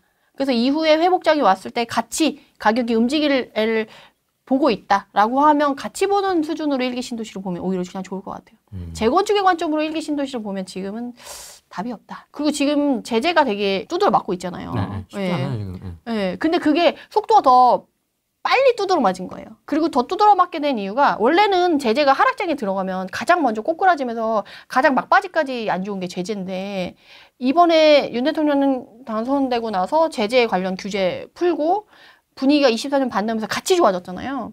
근데 그게 같이 좋아졌어 하면 안 되는 건데 하락장의 미래 가치를 얼마나 뭐 보겠어요. 근데 같이 올라간 부분에 대해서 거품이 꼈기 때문에 그것 때문에 또 두드려 맞는 거고 지금 하락장에서 제재 뭐 규제 푼다고 해서 손해를 보고 민간 사업자가 와가지고 할 수는 없는 거기 때문에 지금 봤을 때는 제가 거품이 23년 더 꼈고 그게 더 빠져야 되고 저는 22 그 하락장이 끝날 때까지 좀 더 빠져야 된다라고 보거든요. 그래서 지금은 제재 관점으로 도시를 보시지 마시고 그리고 제재 관점으로 뭔가를 선택을 하시면 오히려 안 좋다라고 말씀드릴 수 있을 것 같아요. 갭 2억이면 경기도권을 어디를 보시겠습니까? 갭 2억이면 좀 더 줄었네요 선택지가. 저는 삼성벤트 라인에 들어간 지역을 고르겠어요. 한성 일자리. 네네네. 수원, 화성, 기흥, 평택 뭐 이 정도. 수원 입주 물량 없지 않습니까? 네네네. 어, 그래서 지금 요새 삼성, 그러니까 주- 직주 근접에 있는 가격이 많이 빠진 애들 단지 위주로 거래가 좀 많이 되면서 어, 가격이 막 오르진 않았어요. 근데 거래가 좀 되면서 영통은 또 분위기 좀 좋아요. 망포가 사실은 참 제가 애증의 동네입니다 여기 저는. 아 그래요? 네, 양포요. 네, 사실은 여기 구역에 있는 애들이 영통의 메인 이라고 보시면 되는데 지금은 망포로 입지가 그러니까 핵심 입지가 이동을 했어요. 왜냐면 맞습니다. 오래됐으니 오래됐고 여기 신축들이 들어오고 있으니까 그게 이동을 해서 상권도 이전에 여기가 더 좋다라고 했는데 상권마저도 아, 이쪽으로 진짜요? 좀 이동을 하고 어. 새로 거- 여기 건물 많이 올라왔어요 또 새로. 아. 그리고 얘네가 지금 화성 밑으로 지금 확장해서 이걸 계속 어, 신축으로 확장해 나오고 있기 때문에 앞으로 여기 구역이 더 좋아질 거다. 그리고 여기로 내려가면 바로 이제 또 기- 기흥 쪽에 있는 삼성전자가 또 있어요. 아 그러네요. 예, 예. 아 위에도 있고 밑에도 있고. 네. 와. 그래서 이 지- 앞으로 하락장에서 살아남을 애는 저는 일자리라고 했잖아요. 사람들이 마지막까지 포기 못하는 게 월급이잖아요. 학군이라던가 뭐 인프라라던가 뭐 이런 거 다 포기할 수 있지만 결국엔 직장은 포기하지 못하기 때문에 네. 하락장에는 일자리가 탄탄하고 거기 위주로 수요를 받을 수 있는 배우 수가 되는 지역만 이제 좋아질 거다. 아, 그나마 또반 지지 기반이 있고 덜 떨어지고 반 그런 것들이 어쨌든 하락장에서 일자리 주변에 있는 애들이 그나마 선방할 거다 라고 말씀드릴 수 있을 갭 2억에 수원 쪽 보고 있는데 추천하실 만한 단, 단지는 말씀드리기가 조금 어려울 것 같습니다. 네. 수원 분위기는 좀 이렇다. 네. 까지만 말씀드릴 수 있을 것 같습니다. 광교 집 팔고 광명 철산 재건축이나 인덕원 의왕 숲속 아파트나 서판교로 갈아타는 거 어떻게 보시나요? 광교랑 지금 철산 재건축, 인덕원, 의왕, 서판교. 철산도 재건축 나름인데 어디로 가신다는 건지. 그리고 철산 재건축은 앞으로 좀 많이 남았는데 그 빨리 상승하는 걸 보고 싶으면 철산용 아니고 광교가 그나마 회복이 더 빠를 것 같고 네. 서판교는 어, 동판교도 아니고 서판교로 어, 그러니까 저도 조금 어 조금 그러니까, 그러니까. 그러니까 입지가 비교하거나 조건이 전혀 다른 것들을 비교해서 조금 서로 다 생뚱맞은 애들끼리 비교를 하시고 있거든요. 답변 드리기가 어, 어, 그러니까 비, 비교 대상이 조금 네, 서로 너무 달라요. 광교는 신축이고 여기에 뭐 인프라라던가 뭐 이런 것들을 보, 봐서 거주하는 거다라고 하면 철산 재건축은 좀 스타일이- 재건축을 기다 어, 기대하고 교통 편의성 어, 그러면 교통을 보고 말씀하신 거는데 그럼 서판교는 또 교통은 또 아니거든요. 네, 실거주면 광교에 사시다가 철산 재건축 들어가시면 광교에 그냥 사시다가 한약장 끝물에 철산 재건축이나 뭐 제재 관련해서 분위기가 많이 안 좋아서 거품이 다 빠지고 나면 그때 이동해서 몸테크 하신다라고 하면 그건 나쁘지 않죠. 음, 광교 분위기는 좀 어떻습니까? 광교 잘 있습니까? 제가 사랑하는 광교. 자연의 잘 있습니까? 23년, 3년에 뭐 어땠습니까? 한, 한번 눌러봐 주십시오. 좋아졌다가 다시 좀 똑같아요. 지금 입지를 보실 때 부동산 시장의 흐름에 민감한 지역과 아닌 지역이 똑 딱 나눠져요. 얘는 민감한 거예요. 23년도 초에 바닥을 찍고 올라갔다가 9월 달에 꺾였죠. 24년에 다시 좋아졌죠. 다시 주춤하죠. 지금 부동산 시장이랑 똑같이 가잖아요. 어떤 느낌인지 아시겠죠? 그러니까 이런 애들은 시장과 흐름을 같이 하는 약간 민감하면서 트렌드를 타는 애들인 거예요. 근데 그런 거에 상관없이 뜨뜻미지근하게 그냥 내려가서 움직이지 않는 애들도 있고, 어, 뭐 그런 애들이 막 이렇게 입지만 좀 달라요. 음. 그래서 너무 재밌지 않나요? 시장 흐름이랑 너무 똑같이 가잖아. 아니 어떤 분이 광교의 미래에 대해서 좀 궁금해하시는 분들이 어. 계셔가지고 음. 광교는 수원에서 앞으로 메인 지역으로 계속 그 우뚝 계속 갈 거예요. 부럽습니다. 네. 저 근데 저는 아, 왜요? 아 좋은 지역이야. 수원 거주자인데 왜? 아 근데 왜냐면 네. 집값이 너무 비싸잖아요. 좋잖아요. 엉덩이에 깔고 있는 집이 비싼 걸 저는 안 좋아하거든. 아, 아, 또, 또 그런 스타일이긴 하지. 어. 그, 차라리 그 돈으로 투자를 해서 뭔가 하고 이렇게 해야지. 그러니까 저는 적당한 이런 주거 만족도가 있으면서 적당한 가격이 좋지. 막 비싸고 좋고 이런 거를 엉덩이를 깔고 있는 건 돈이 너무 아깝다고 생각이 들어요. 음. 돈이 일을 해야지. 집에서 쉬고 있어. 어, 이미 너무 많이 호재가 다 반영된 지역 같다고 생각합니다. 어, 그러니까 시장의 흐름이 좋아지면 땅값이 올라가고 시장의 흐름에 같이 움직일 지역인 거지. 이후에 호재가 좋아지면서 가치가 새롭게 재평가받을 지역은 아니지. 저는 그 동작구에 살고 있고요. 예, 예, 40대 후반이고 예, 음, 지금 그 신대방 한성 아파트 48평이 있거든요. 예. 예, 근데 그거를 이제 전세를 놓고 그 전세 놓은 돈으로 마천동의 우방 아파트 22평을 갭 투자를 했어요. 예, 근데 하고 나니까는 이게 아닌 것 같아가지고 예. 이거를 어떻게 정리를 해야 될까 이제 그런 고민에 지금 빠져 있거든요. 네네. 그래서 그 일시적 1가구 2주택으로 지금 한 거라서 네. 한성을 먼저 팔고 나중에 이제 순차적으로 그렇게 해야 될 것인지 아니면 우방을 지금이라도 조금 손해 보더라도 정리를 하고 한성을 조금 갖고 가다가 이게 구축이라서 저는 이제 이제 한계가 있을 것 같아서 이제는 좀 다른 쪽으로 옮겨야 되나 그 생각은 들고 있고 네. 저는 이제 거주지는 이제 아빠 집에서 살고 있기 때문에 아, 그거를 깔고 앉아 있는다든지 뭐 그런 거는 안 해도 되거든요. 네. 그래서 이제 투자 쪽으로 생각을 하고 있는데 아직 뭐 배운 것도 없고 유튜브만 조금 보고 있는 상황이라서 예. 근데 이 신대방 한성은 좀 아닌 것 같은 생각이 자꾸 들긴 하더라고요. 너무 구축이라서 30평 아니 30년이 넘 이제 다 된 거라서 단지 수도 작고 이제 물론 이제 이 동네가 너무 좋아요. 그 애들 학교도 있고 그러기는 하는데 네. 그렇다고 완전히 학군지라고 해야 되나 그런 건 또 아닌 것 같고 학원들은 또 없어요. 그 학교들은 초중고가 다 있어서 좋긴 좋은데 네. 그런 좀 고민이 있어서 신대방 한성이 네, 고, 48평. 고민이신 거예요? 아니면 마천 우방이 고민이신 거예요? 그래서 이제 순서를 일시적 1가구 2주택으로 이제 매수를 한 거라서 네. 그렇게 순차적으로 해서 정리를 해야 될 것인지 아니면은 우방 아파트를 먼저 팔고 한성을 갖고 가다가 좀 기회가 왔을 때 그때 움직이는 게 더 나은지 또 잘 모르겠거든요.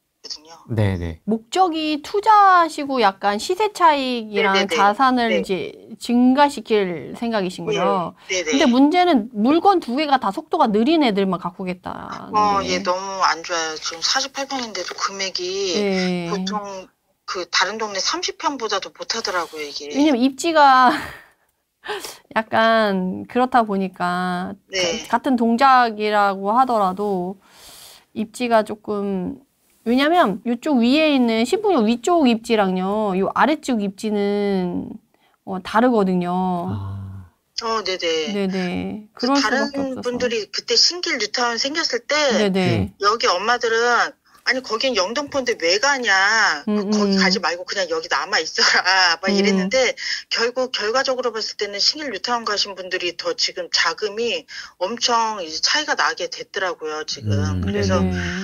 아 그것도 그렇고. 또 이거를 정리를 해서 남서울 아파트 저기 보이는 남서울 아파트도 좀 생각을 해봤는데 거기도 분담금이 굉장히 나올 것 같다고 그래서 그것도 좀 그- 음, 그렇고. 지금 뭐- 노량진 뉴타운은 또 너무 차이가 너무 나고 그래서 어떻게 될지 모르겠어요. 어, 그래서 이거라 이거를 정리를 하더라도 해서 상도 파크자이나 상도 더샵을 전세 끼고 들어가는 게 전세 끼고 사놓는 게 더 나은 건지 여기 동작구를 벗어난 지역은 제가 잘 몰라가지고 그나마 고려하시는 것 중에 상도 파크자이가 좀 괜찮네요. 그 네. 마천의 우방도 네 얘도 너무 너무 들어가셨고, 그러니까 네. 이게 속도가, 그러니까 자본이 많고 충분히 재건축 재개발을 기다리고 여유로우신 분들은 뭐 송파 송파에 좀 물건 하나 갖고 있고 추후에 그냥 약간 봄을 묻어놓는다는 식으로 그냥 묻어놓고 실투금 자체가 얼마 안 들어서 묻어놓은 정도로 그냥 내둔다 그러면은 송파는 괜찮을 정도의 그런 건데 그게 아니라고 하면 만약에 내가 전 재산을 막 묶어놓는다 이러면 너무 아까운 시기를 그냥 시간 레버리지를 전혀 못 쓸 수 있거든요. 아, 네. 근데 이제 여기 장승배기역의 상도 파크자이 같은 경우는 이제 노량진 뉴타운이 다 조성이 되면 같이 움직이래라서 네네. 네 그리고 역세권이잖아요. 여기 여기 주변의 인프라나 이런 것도 나름 깔끔하고 괜찮잖아요. 노량진 뉴타운이 움직이면 같이 충분히 갈 수 있을 만한 데예요. 근데 네. 아까 신대방 한성 같은 경우는 위에 있는 신길이나 영등포 이쪽 잘 돼도 여기로 에너지가 가진 않거든요. 네. 따로 움직이는 지역. 위아래 같이 비슷하게 입지가 지리적으로는 가깝지만 여기 애들이 움직인다고 해서 여기 애들이 움직이진 않거든요. 네, 이제는 오지는 않더라고요. 네네. 좀 가면 같지. 그래서 이- 그래서 말씀드리는 게 이 노량진 뉴타운이 움직이면 그래도 아까 여기 말씀하신 상도 파크자이는 같이 움직여요. 네. 근데 그 한성은 같이 안 움직이고 네. 거여마천도 이번에 송파 잠실 움직였지만 얘네는 안 움직여요. 어떤 느낌으로 말씀드리는지 알겠죠? 네네. 그래서 속도가 빠른 걸 원하시면 네. 그런 쪽으로 가셔야 되고 그냥 나는 묻어놓는다 그러면은 사고 파는 거 자체로도 지금 필요 경비나 이런 게 들기 때문에 네. 당장은 손해를 감수해야 돼서 그런 뉘앙스로 이해를 하시면 좋을 것 같아요. 그럼 좀 적극적으로 투자를 투자 수익을 추구한다면 필요 경비를 피를 흘리더라도 갈아타는 게 맞아요? 근데 지금은 그러니까 지금 상황, 팔리지도 않아요. 지금 상황에서 뭐가 그 다음에 사고 나서 뭔가 이렇게 딱 올라갈 느낌이 이렇게 딱 보이는 건 아니라서. 만약에 자금의 여유가 있다고 하면 좋은 거를 사놓고 나중에 얘네들이 좀 물이 그래도 손에 안 보는 상태에서 물이 들어왔을 때 적당한 선에서 처분을 해서 다음 거를 스텝을 받는 게 가장 안전하긴 하죠. 선생님 그러면 이거 지금 자금은 없는데. 아 자금은 없고 이거 두 개를 정리해야 자금이 나오시는 거예요? 네네. 그러면 둘 중에 하나 세금적으로 덜 손해가 되는 거를 먼저 정리해서 자금을 마련해서 하나를 잘 해놓고 나머지 한 개는 그런 식으로 가는 게 가장 안전하지 않을까 싶은데. 아 근데 사실 때 조금 네. 입지 공부를 하시고 사시면 좋을 것 같아요. 왜냐면 시장의 흐름을 타는 지역과 안 타는 지역에 대한 구분도 지금 안된 아, 상태에서 사셔가지고 사실 네네. 친구 따라 갔다가 음, 음. 그냥 그 친구 아는 부동산에서 질렀어요. 아. 그럼 그 친구도 같이 사신 거예요?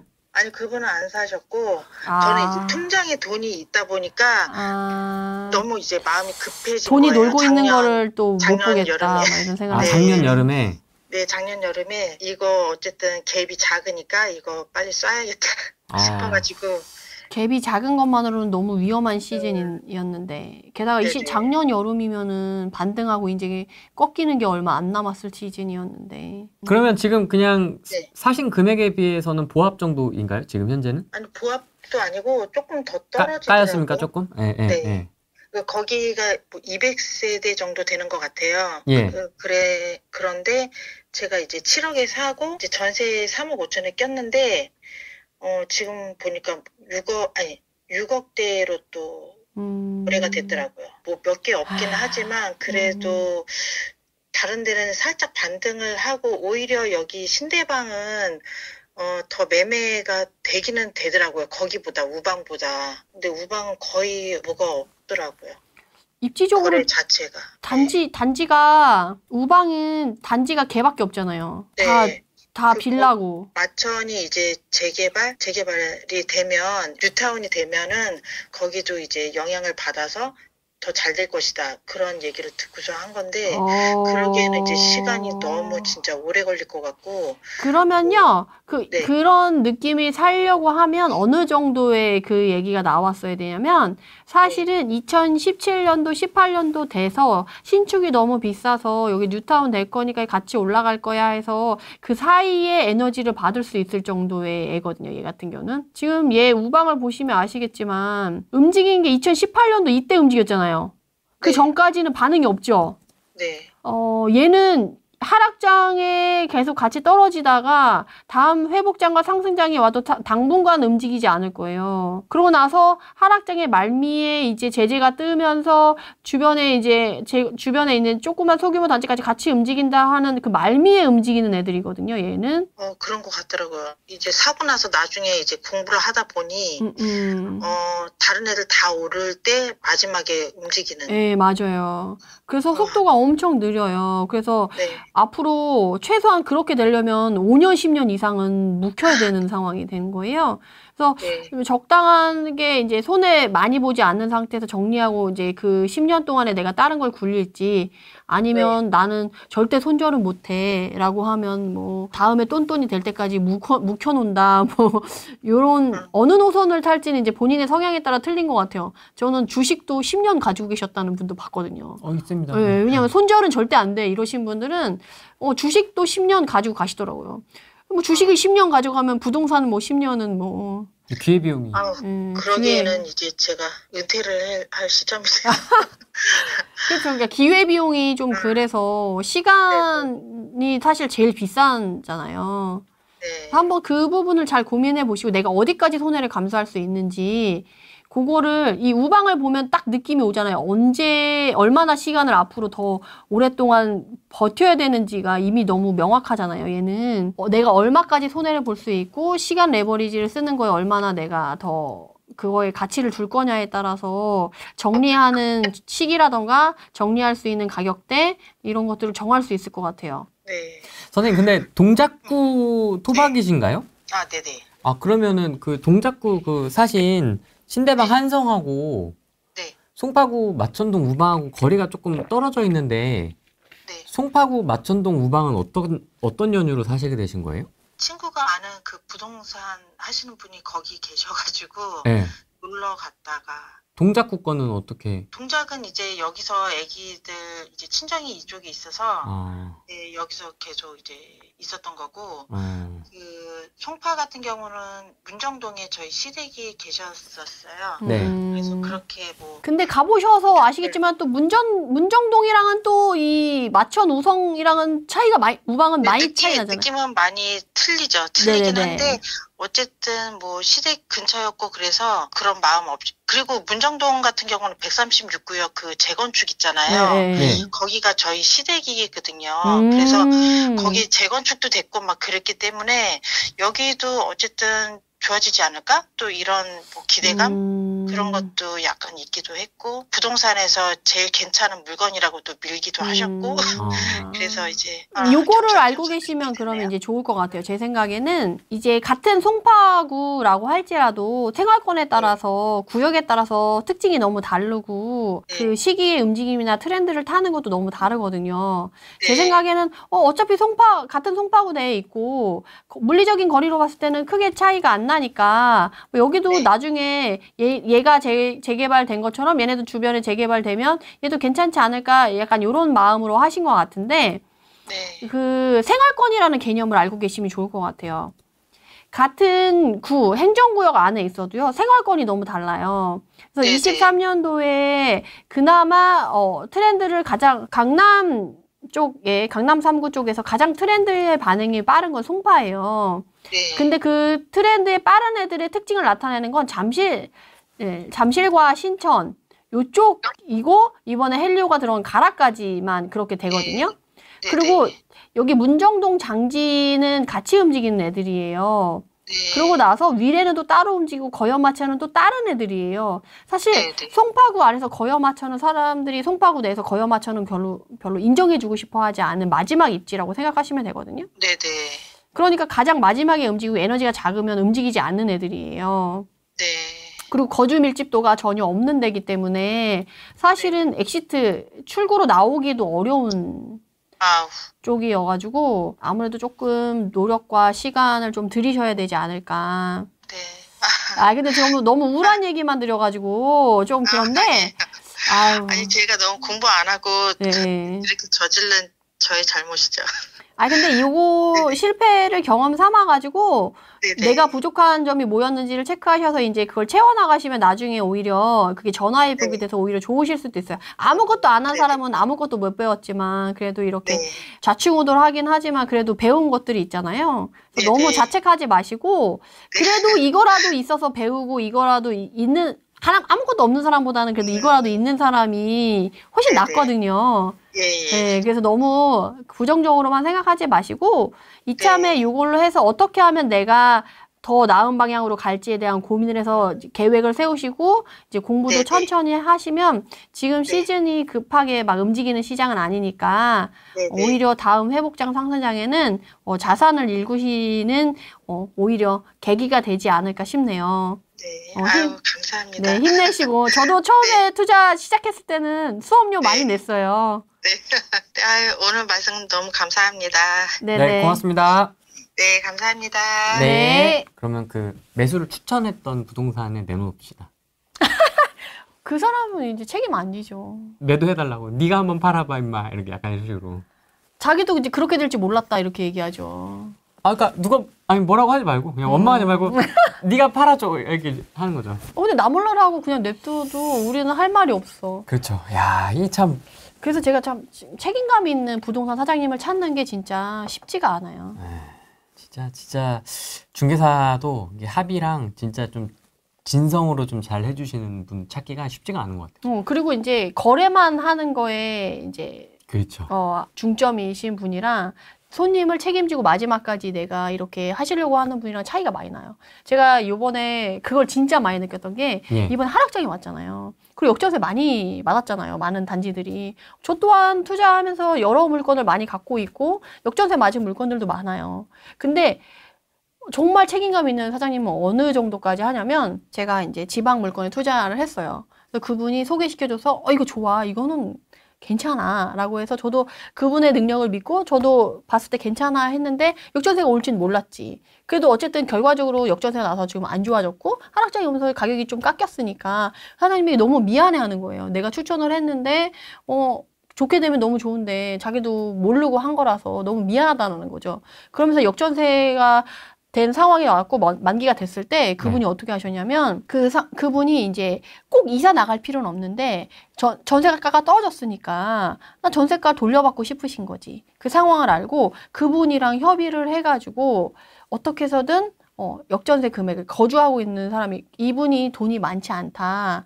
저, 저는 역전세가 여러 개 났으니까 어, 이분이 돈을 쌓아놓 고 하시는 분이 아니고 또 여러 물건들이 있어서 상황이 어려우니까 서로 이렇게 좀 합의를 잘 해보자 해가지고 제가 말씀드리기 전부터도 먼저 얘기를 해서 그렇게 조율을 해주셨고 심지어 전세 멀잖아요. 지방이니까 또 가야 되잖아요. 시간 쓰시지 마시라고 전자계약으로 이렇게 하- 오, 다 해주시고 전적이야. 네, 요새는 전자계약으로 하시더라고요. 줌으로 해서 준- 전자계약을 해요. 인터넷 앱으로, 핸드폰에서 앱에서 서명을 하고 설명하고 이런 것들이 다 되더라고요. 그렇게 해주시고, 그렇게 다 발벗고 해주셨는데도 불구하고 전세 중개비를 안 받으시더라고요. 와, 굉장히 적극적이시네요. 네, 그러니까, 되게 잘하시고. 그러니까 본인이 그만큼 책임감을 갖고 있는 거예요. 내가 이렇게 소개해서 좋다고 해서 이렇게 했는데 어쨌든 결과가 안 좋아서 신이 아닌 이상 100% 맞출 수 없으니까 다만 그것에 대한 내 마음과 노력은 이렇게 보여주겠다라고 하셔가지고 그렇게 해주셨어요. 어. 그리고 그 상대방도 사실은 그렇게 손해 본 게 아닌 게 이분이 전세가가 떨어지는 걸 몰랐어요. 그리고 만기가 된지를 몰랐어. 그래서 이미 묵시적 갱신이 됐어. 그래서 묵시적 갱신이 됐지만 이사를 가려고 하면 잡다한 것들을 신경 쓰게 너무 많았던 거예요. 그래서 그럼에도 불구하고 묵시적 갱신이 돼서 뭐 솔직히 싸우자고 하면 너 무시적 갱신 됐으니까 그냥 살아. 어, 그래? 그럼 난 무시적 갱신 됐으니까 3개월에 통보하고 나갈 거야. 이게 끝까지 갈 수가 있는 거예요. 그렇죠. 근데 그래봤자 서로 손해인 거예요. 음, 음. 나도 하면 또 새로 맞춰야 되고 어차피 전세금 돌려주는 건 똑같고 이분도 묵시적 갱신이 돼서 사실은 그냥 살아 지나가게 됐는데 내가 그걸 싫어서 뭐 이사비 드리고 뭐 이것저것 불편한 걸 다 감수하고 뭐 이사를 간다고 하면 뭐 또 불편함을 감수해야 되는 거예요. 그러니까 양쪽 다 사실은 오히려 손해 볼 상황인 거죠. 불편하고. 그러니까 중간에서 어느 정도 가격 조율을 해서 그냥 거주하시고 뭐 꼭 이사를 갈 필요는 없었거든요. 그러니까 대신에 그래도 묵시적 갱신이 지나서 돈을 발- 받을 수 있는 시간은 지나서 그건 또 어려운 상황인데 그래도 조율을 어느 정도 해서 서로 한 발씩 양보한 거죠. 그런 상태에서 이제 좋게 잘 마무리가 된 상황 음. 그런 물건이었어요. 아, 의리 있네, 사장님. 그러니까 저는 약간 이런 의리 있는 분 사장님들 너무 감사하죠. 그래서 내가 임장을 가거나 물건을 거래할 때 최소한 요정 아 이건 최대치죠. 사실 맥시멈이죠. 최소한 책임감을 갖고 내가 전세 만기를 책임져서 이걸 어떻게든 빼주겠다. 아니면 새로 맞춰주겠다. 요 정도까지 액션을 취하고 취해주는 사장님을 골라야죠. 딱 했는데 난 몰라 이제 거래 끝났으니까 네가 알아서 해. 뭐 아쉬우면 다른 데 내놔도 돼. 어, 나는 신, 이, 뭐 힘드니까 뭐 해볼게요 하는데 전혀 액션이 없는 이제 그러면 너무 힘들죠. 마산 원영동화 1차를 마산이요? 네. 네 22년도에 객투를 했는데 네. 지금 역전세거든요. 네. 그래서 오늘 보증금을 돌려줬는데 네. 어, 전세를 다시 맞추면 한 마이너스 3천에서 4천일 것 같고 이거를 팔면은 어, 금매로 그냥 안 고치고 팔면 한 마이너스 1천 정도 손해를 볼 것 같고 네. 고쳐서 팔면은 조금 손해를 덜 볼 것 같은데 우선 첫 번째 단계는 얘를 그냥 전세를 한 번 더 돌릴 거냐 네. 아니면 그냥 손해를 조금 보고 팔까 네. 네 이렇게 고민 중입니다. 근데 지금 그 앞으로 방향성이 중요할 것 같아요. 지금 자금이 너무 없어서 이거를 빼서 새로운 걸 투자해서 뭔가 자본을 일으키려고 하는 건지 아니면 이거를 그냥 냅두고 아무것도 안 하고 이거라도 갖고 있어서 나중에 회복될 때 그거를 가져오는 게 나은지 어떤 방향성을 갖고 있는지 모르겠어서 그걸 좀 먼저 말씀해 주시면 좋을 것 같아요. 아, 네. 제가 참고로 그 부산에 사는 희한데요. 아 뭐야 나 희아님 목소리인 것 같았어. 어, 난 전혀 모르겠네? 어 나는 들으면서 어 희아님 목소리인데 라고 생각했거든. 에, 통화 연결이 될 아, 거라고. 기대를 안 하고 해봤는데. 근데 왜 저, 아, 저는 번호가 저장이 안 되어 있으니까. 네. 어머 호랑이님 얼굴 빨개졌어. 저도 막 아, 목소리가 떨리네요. 아 전혀, 전혀 몰랐네요. 아 나는 목소리 들으면서 어 희아님 목소리인데라고 아, 생각했거든. 감을 좀 나는. 잡으셨군요. 어 나는 그래서 어, 희아님이면 희아님이라고 얘기할 텐데 혹시나 아닐 수도 있으니까 나도 난 아, 소심쟁이라. 그렇죠, 그렇죠, 그렇죠. 아닐 수도 있지. 잘 지내셨습니까? 어, 뼈를 깎는 고통을 견디고 있습니다. 아, 참, 참고로 저희 그 우레이 TV 지금 시청하시는 분들께 좀 설명드리자면 저희 그 겨울이었나요, 그때? 추울 때였지. 추울 때였어요. 엄청 추울 때였습니다, 그때. 일산에서 한번 희아 님과 아주 재밌게 촬영을 했던 기억이 있습니다. 과거 영상 한번 보시면 좋을 것 같은데. 아리따운 여인. 예, 그때 굉장히 적극적으로 투자를 하고 그리고 이제 그때 수습을 열심히 하고 있었던 상황이었는데 아, 또 이렇게 목소리 연결이 되니까 또 반갑네요. 아 호랑이님 네, 또 희아님 반갑습니다. 엄청 좋아하시잖아요. 아, 엄청 좋아졌고 엄청 적극적으로 또 투자하시고 또 촬영도 엄청 적극적으로 도와주셔가지고 늘 감사한 마음으로 생각하고 있습니다. 아니 뭐 희아님 정도면 답변 필요 없잖아. 아니에요. 근데 제가 지금 그 우선 등기병은 치료가 된 상태고요. 아, 올해 들어서 세 개를 팔고 지금 역전세를 두 개는 역전세를 지금 다시 돌려줘서 전세를 연장을 했고 예, 얘는 지금 역- 전세를 연장해줄 돈은 있는데 예. 여기다가 3천만 원을 더 넣고 2년을 기다리는 게 나을지 아니면 그냥 천만 원 정도라도 선회를 보고 파는 게 나을지 그게 좀 저도 입주 물량이랑 보기는 했는데 예. 지금은 입주가 많거든요. 근데 네. 2년 뒤에는 없긴 한데 과연 이게 오를 만한 상승력이 있을까 이제 그런 고민이 좀 돼서요. 창원 부동산 전망. 음, 2년 뒤에 이걸 다 회수하기는 어려울 것 같아요, 희아님. 아, 음, 음. 만약에 그 자금 융통성이라던가 자금 활용력으로 본다고 하면 좀 덜 들어가게 하는 게 맞죠. 그래서 사실 저도 올 초에 그런 물건이 하나 있어서 팔았어요, 그냥. 그러면 어 저도 전세보다는 이제 전세 연장보다는 매도 쪽으로 방향을 잡고 있는데 음, 음. 이게 이제 매매 사업자다 보니까 음, 음. 그 양도 차손이랑 양도 차익을 상계를 음. 칠수 있다고 제가 공부한 것 같거든요. 어, 맞아요, 맞아요. 그래서 그 만약에 양도 차손을 크게 하려면 그 부동산 추천대로 전혀 지금 뭐 화장실이랑 그 싱크를 손을 안 대고 더 몇백 싸게 파는 게 낫고 만약에 근데 고쳤을 때는 제가 또 아무래도 좀 고칠 수 있으니까 음, 음. 아, 그 실질적으로 손해 보는 금액을 또 조금 줄일 수는 있거든요. 아 그쵸 또 음. 인테리어 또 기가 그래서. 그 세금적인 거랑 이렇게 결과적으로 봤을 때 내가 덜 손해 보는 거로 그냥 결정하시면 될 것 같은데 그러면 결론은 네, 네. 손절, 손절로 가는 거군요. 예, 아, 아, 아니, 아니. 뭐, 저, 같- 저 같은 경우, 희아님도 워- 워낙 꾼이시니까, 사실은. 투자를 많이 하셔가지고 꾼이니까, 그냥, 정말, 꺼- 까놓고 얘기를 말씀드리는 건데, 저도 그런 상황의 물건이 오래 있었어요. 그래서 그냥, 그냥 팔아 버렸어요. 음, 그래서 자금 운용을 조금 더 원활하게 하는 게, 네. 우리 입장에선 더 낫기 때문에, 저는 그렇게 했거든요. 매도를 하고, 그냥, 역전세로 돌려주면 머덕을 돌려줘야 되고, 뭐, 팔면 뭐, 그렇고, 뭐, 이렇게 해가지고, 그렇게 했어요. 질문 한 가지만 더 해도 되나요? 네 그럼요. 아, 네. 그 지방 투자자 입장에서 지금 약간 울산을 조금 봐볼까 하거든요. 경매나 네네. 금매로 네. 단타용으로 네. 울산은 어떻게 보시는지. 저도 저도 궁금하네요. 울산. 최근 최근 울산 부동산 시장의 전세 흐름이 좋잖아요. 네 네. 근데 약간 저도 그래서 사실은 최근에 어떤 공부를 하려고 하냐면 중공업 쪽이 산업 쪽이 조금 약간 변화가 있었어요. 플랜트 산업이라던가 이런 게 좀 변화가 있고 그래서 그 플랜트나 뭐 중공업 산업 쪽이 앞으로 전망이 4년 동안은 좀 좋을 것 같다라고 하더라고요. 삼성 쪽 같은 경우는.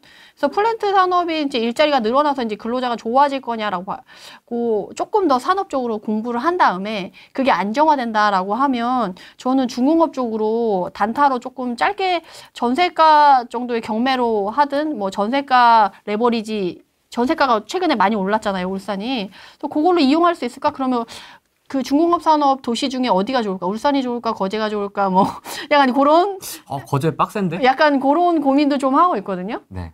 그래서 그런 거 고- 공부 같이 해봐요, 희아님. 네, 안 그래도 제가 오늘 거제도에 매도 잔금을 받고 왔거든요. 네네. 네네. 그리고 마산에 전세 보증금을 돌려줬거든요. 근데 네네. 거제도가 지금 우포동 그 분양권 반도유보로 같은 경우 마이너스 마피가 1억까지 됐다고 하더라고요. 맞습니다. 네. 아니, 아직 거제도는 조금 제가 체감하기에는 네. 어, 분위기가 조금은 덜 좀 살아나기는 아직 시작하진 않은 것 같아요. 아 거제도 뉴스까지 아주 생생하게 또. 어, 네. 아무튼 거제를 파셨다는 얘기는 뭐 좀 좀 재미가 없을 거라고 보시는 건가요? 거제는?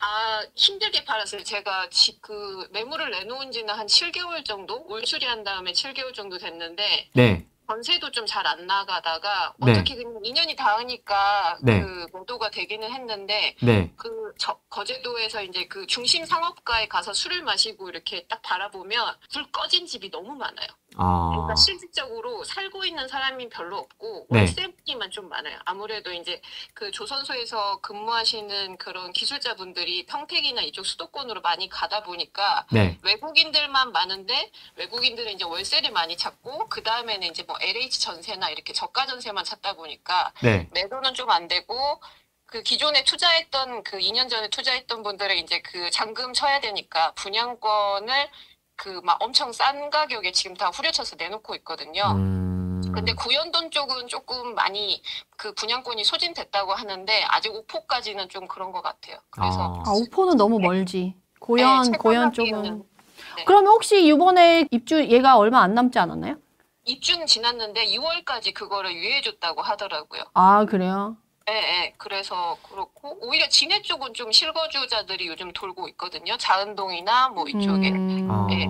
그래서 어쨌든 거제는 지금 안 좋은 상태에서 계속 가고 있어가지고 그래서 네, 아까 네. 중공업 그런 것도 얘기를 하긴 했는데 조금 더 뭐 분위기가 좋아지려고 하려고 하면 사실 평택에 그 지금 공사하고 있잖아요. 그러니까 약간 멈췄는데 그게 공사가 끝나면 다시금 근로자가 이쪽으로 내려올 거다라고 얘기를 하는데 그게 조금 4년 이상은 좀 걸릴 거라서 음. 좀 장기적으로 봐야 된다라는. 그래서 이후에 이제 중공업 산업이 얼마나 이제 빠르게 올라오냐, 일자리 근로자가 늘어나냐, 그거 이게 맞물려지면서 그 시점을 잘 타야 되는 데가 이제 중공업 산업이 활발하게 되어 있는 지역이거든요. 그래서 울산은 같이 그걸 고민해서 고려해서 봐야 될 것 같아요. 네, 경남 한번 놀러 오세요. 아니, 아니 희아님 또 다른데 거제 말고 또 다른데 어디 파셨어요? 최근에? 최근에 진해 팔았고요. 네. 너무 많아갖고 헷갈리죠. 거제도 팔고 진해 팔고 네. 어, 예, 그런 것 같아요. 그 역전세 맞춘 거는 김해 맞췄고, 네, 그리고 부산 맞췄고. 어 경상도에 되게 진짜 많이 해놓으셨네요. 아 제가 그 포트폴리오 상담하면서 네네네. 그, 그 메디테라님이 참마디가 제 포트폴리오 쓰레기라 했거든요. 경남이 너무 몰빵됐다고. 제가 그렇게까지 얘기하진 않았잖아요. 아니요 그렇게 아주 직설적으로 잘 해주셔가지고 네, 쓰레기라고? 아니 아. 그때 그때 희아님이. 저한테 요청한 게 그거였어요. 첫 마디가 거르지 말고 필터링 하지 말고 그냥 그대로 아, 얘기해 달라. 있는 그대로 다 얘기해 달라고. 네. 어. 그래서 제가 조금 세게 얘기를 하겠지만 요- 용어를 쓰레기를 쓰진 않았어요.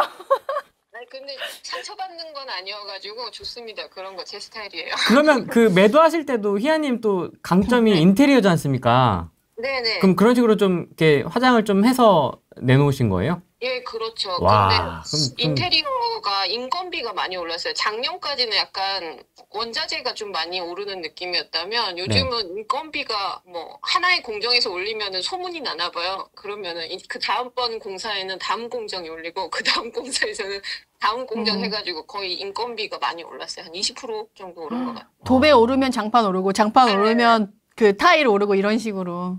그래서 예전에 그 갭 투자자들이 많이 그 막 싸게 뭐 평당 얼마 이렇게 했을 때 가격을 지금 똑같이 맞추긴 많이 힘들 거예요. 아. 어 맞아요. 아니 그때 그때도 한 500만 원에서 700 정도 올랐었는데 그거보다 좀 더 올랐겠네요. 그러면 진짜. 네네. 계속 끊임없이 오르고 있습니다. 찐 투자자들의 대화라고. 희아님 방송 보신 분들 꽤 있으시네요. 채팅 보니까 어, 금손 금손 희아님이라고 어, 닉네임 김, 어. 금손 희아. 커피님도 오셔가지고 희아님 반가워요라고 얘기해 주셨어요. 아 겨, 친숙한 닉네임들이. 다른데 혹시 경상도 소식 좀 전해주십시오. 다른데 또 소식이 어떻습니까? 부산이라든지. 부산도 이번에 제가 알기로 입주가 많아서 그런가 네, 움직임이 좀 더딘 것 같고요. 네, 그리고 1억 이하짜리는 네, 그러니까 한마디로 저는 이제 1억 이하짜리를 많이 하다 보니까 1억 이하짜리를 보면 네. 전세가 줄었다가도 이제 그 다음번에 타이밍에 투자한 만기 물건이 나오면 다시 전세가 쭉 늘었다가 네. 전세가 다시 또 줄었다가 늘었다가 하기 때문에 전세가가 오르지 않아요. 이게 줄은 상태에서 계속 지속되면 전세가가 오를 것 같은데 네. 올랐다 이게 좀 어, 오를 것 같다 예, 기대를 하면은 다시 또 매물이 늘어나고 어. 다시 그러면 또 다시 전세가가 그대로 유지되고 근데 어. 1억 이하는 보통 전세가가 받쳐줘야 매매가가 오르는데 네. 전세가가 그대로니까 매매가가 잘 안 오르는 것 같고 음. 김해 유라 같은 경우에도 전세는 줄어들거든요. 네. 근데 최근 어, 전세는 줄어드는데 매, 매매 거래는 잘 안 돼요. 그러니까 정말 초금매만 좀 됐었는데 지금은 초금매 거래도 좀 잘 안 되는 것 같아요. 어, 아니, 이, 이거 갑자기 인터뷰가 되는데? Q&A가 아니고, 아니, 올해는 좀 어떤 계획을 좀 가- 갖고, 계, 희아님 목소리 출연, 목소리 출연. 어떤 계획을 좀 갖고 계십니까? 이그 쭉정이 전문가로서 올해는 포트폴리오를 지금 정, 정리를 하는 중인데 네. 우선은 손절의 미학을 좀 배우고 있고요. 손절의 미약. 네, 뼈를 깎는 고통을 이제 평생 투자할 거다라는 마인드로 지금 버텨가고 있고 예, 포트폴리오를 정리해서 예, 요즘은 대세가 이제 똘똘한 한 채잖아요. 예, 그래서 한 몇 억 단위로 좀 크게 모으면 예. 어 제일 좋은 건 서울부터 한번 쑤셔보고요. 어. 쑤셔본다는 좀, 격, 좀 그런데 서울부터 어 노려보고 어, 어, 이거 후랭이님 편집 안 해줄 거야. 내가 제가 근데 편집 안 해줄 것 같은데. 네, 서울부터 한번 도전 도전을 해보고 아, 도전, 네. 네, 그리고 이제 분양권도 요즘에는 워낙 분양가가 비싸서 좀 메리트가 많이 떨어지긴 한데 네. 뭐 입주 전이나 아니면은 뭐 이런 신도시 위주로 분양권을 한번 보거나 아니면은 이제 갭이 붙는지 좀 잘 봐서 그 똘똘한 한채 베이스 캠프부터 잘 마련한 다음에 네. 이제 단타는 계속 돌려야죠. 그러니까 앞바퀴 뒷바퀴. 아, 앞바퀴, 뒷바퀴가 그런 개념이네요, 희아님한테는. 네, 똘똘한 거 저- 네, 하나 쑤셔놓고, 네, 어, 뒤에서 단타 돌리고. 네, 그리고 외건 정도로 해가지고 이제 엔잡으로 좀 이런 요즘 현금 흐름용 이런 부잡 부업들 있잖아요. 예, 뭐 구매대행이나 쇼핑몰이나 예. 뭐 이런 거는 또 계속 하고요. 아, 그거 잘 되고 계십니까? 그 현금 흐름 창출하는 거는? 아, 뭐, 그 계속 여기저기 뭐 강의도 듣고 해보기는 하는데 예. 요즘에 진입하시는 분들이 너무 많아가지고 쉽지는 않은데 다 노력하기 나름인 것 같아요. 어. 아, 이분 또 이 온라인 쇼핑몰 잘하세요. 아, 인테리어도 하시고. 구매대. 어 능력자, 능력자. 아, 아, 그, 이- 그때 인테리어 하는 거 보고 진짜 깜짝 놀랐거든요. 완전 좋아. 네. 아, 그때보다 또 많이 업그레이드 되었습니다. 아, 그렇습니까? 그거보다 더? 네. 아니, 아. 우리 다음에 현장 가면 경, 경상도 가야 되는 거 아니에요? 희아님 다음에 인테리어 보러? 경상도로 한번 가야 될 것 같네요. 희아님 인테리어 보러. 네, 언제든지 맛있는 음식이 대기하고 있습니다. 그것도 한번 얘기해 주시면 좋을 것 같아요. 사실 이번에 투자자들이 거의 역전세 이제 마무리하는 시즌에서 예. 사실 그걸 지내오신 투자자분들이 많으신데 사실 거기에 최전선에서 지금 어, 하신 희아님이 그분들한테도 이렇게 약간 같이 이렇게 의지가 되는 말을 한 말씀 해주시면 좋을 것 같아요. 어떻게 좀 버티셨고 좀 그 지금 지금도 힘든 시기를 보내고 있는 다주택자분들이 많은데 좀 하고 싶은 이야기 있으시면 해주십시오. 제가 오늘 밥 먹으면서 한 얘기가 있는데 사람이 죽으란 법은 없구나 이런 얘기를 했어요. 아 누구 누구한테 하신 얘기예요 그걸? 그냥 같이 밥 먹는 사람한테 어. 어, 오늘 왜냐면 잔금을 쳤으니까 잔금 받고 역전세 그 보증금을 바로 돌려줬거든요. 그냥 돈이 스쳐 지나가듯이 어, 이렇게 그쵸. 나갔는데 아 예. 예. 로그인 로그아웃 어. 네, 저는 거제도 집이 팔릴 거라고 생각을 안 했거든요. 어. 그냥 아 전세만 나가도 다행이다 했는데 갑자기 전세 보기로 한 날 매도가 먼저 돼버린 거예요. 예. 그래가지고 어, 희한하다 했는데 결국은 좀 열심히 긍정적인 마인드로 그 하니까 조금 극복이 된 것 같은데 중요한 거는 이제 이번에 돈도 현실적으로 돈이 필요하잖아요. 네. 그래서 이모론도 하고 엄마론도 하고 언니론도 하고 이제 그 잠자고 있던 돈들을 다 깨웠어요. 어. 내가 고리의 이유를 줄 테니 나한테 좀 빌려줘라 해가지고 10%씩 막 이유를 주고 아. 빌렸거든요. 네. 그래가지고 그 그냥 저 하나 보고 믿고 이제 빌려준 가족들한테 고마운 마음으로 그렇게 준 거고 네. 근데 어떻게든 잠깐 융통을 하니까 또 다시 살아날 수 있는 방법이 생겨나긴 하더라고요. 그리고 또 엔잡 할 수 있는 건 또 수익을 올릴 수 있는 건 수익 올릴 수 있는 거대로 하고 줄일 수 있는 건 또 줄이고 뭐 그 방법밖에 없는 것 같아요. 그리고 후레기 TV를 계속 보고 있어요.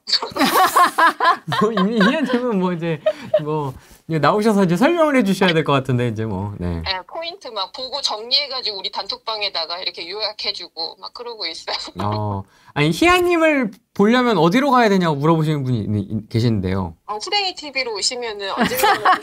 갑자기 갑자기 알겠습니다. 아무튼 네. 뭐잘 지내시는 거 맞죠?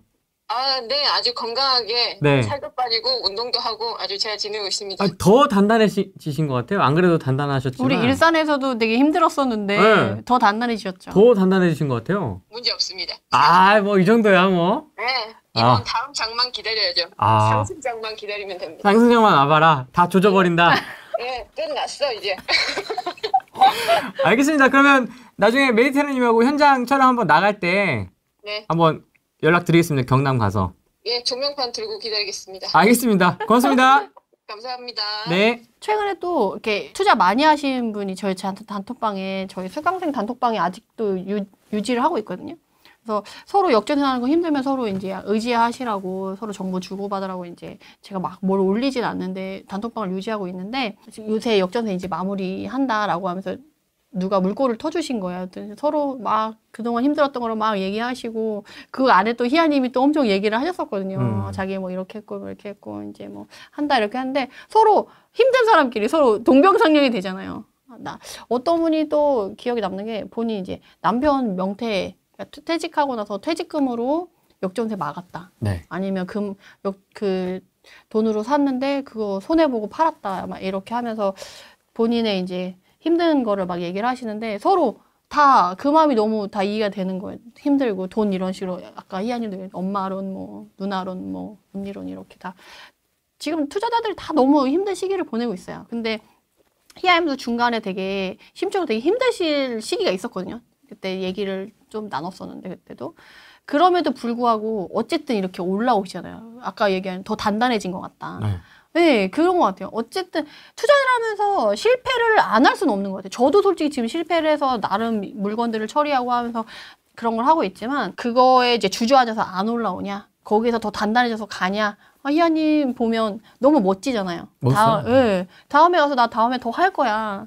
어, 저는 약간 지금 힘드신 분들이 오히려 그렇게 되셔, 되시길 저는 너무 바래요.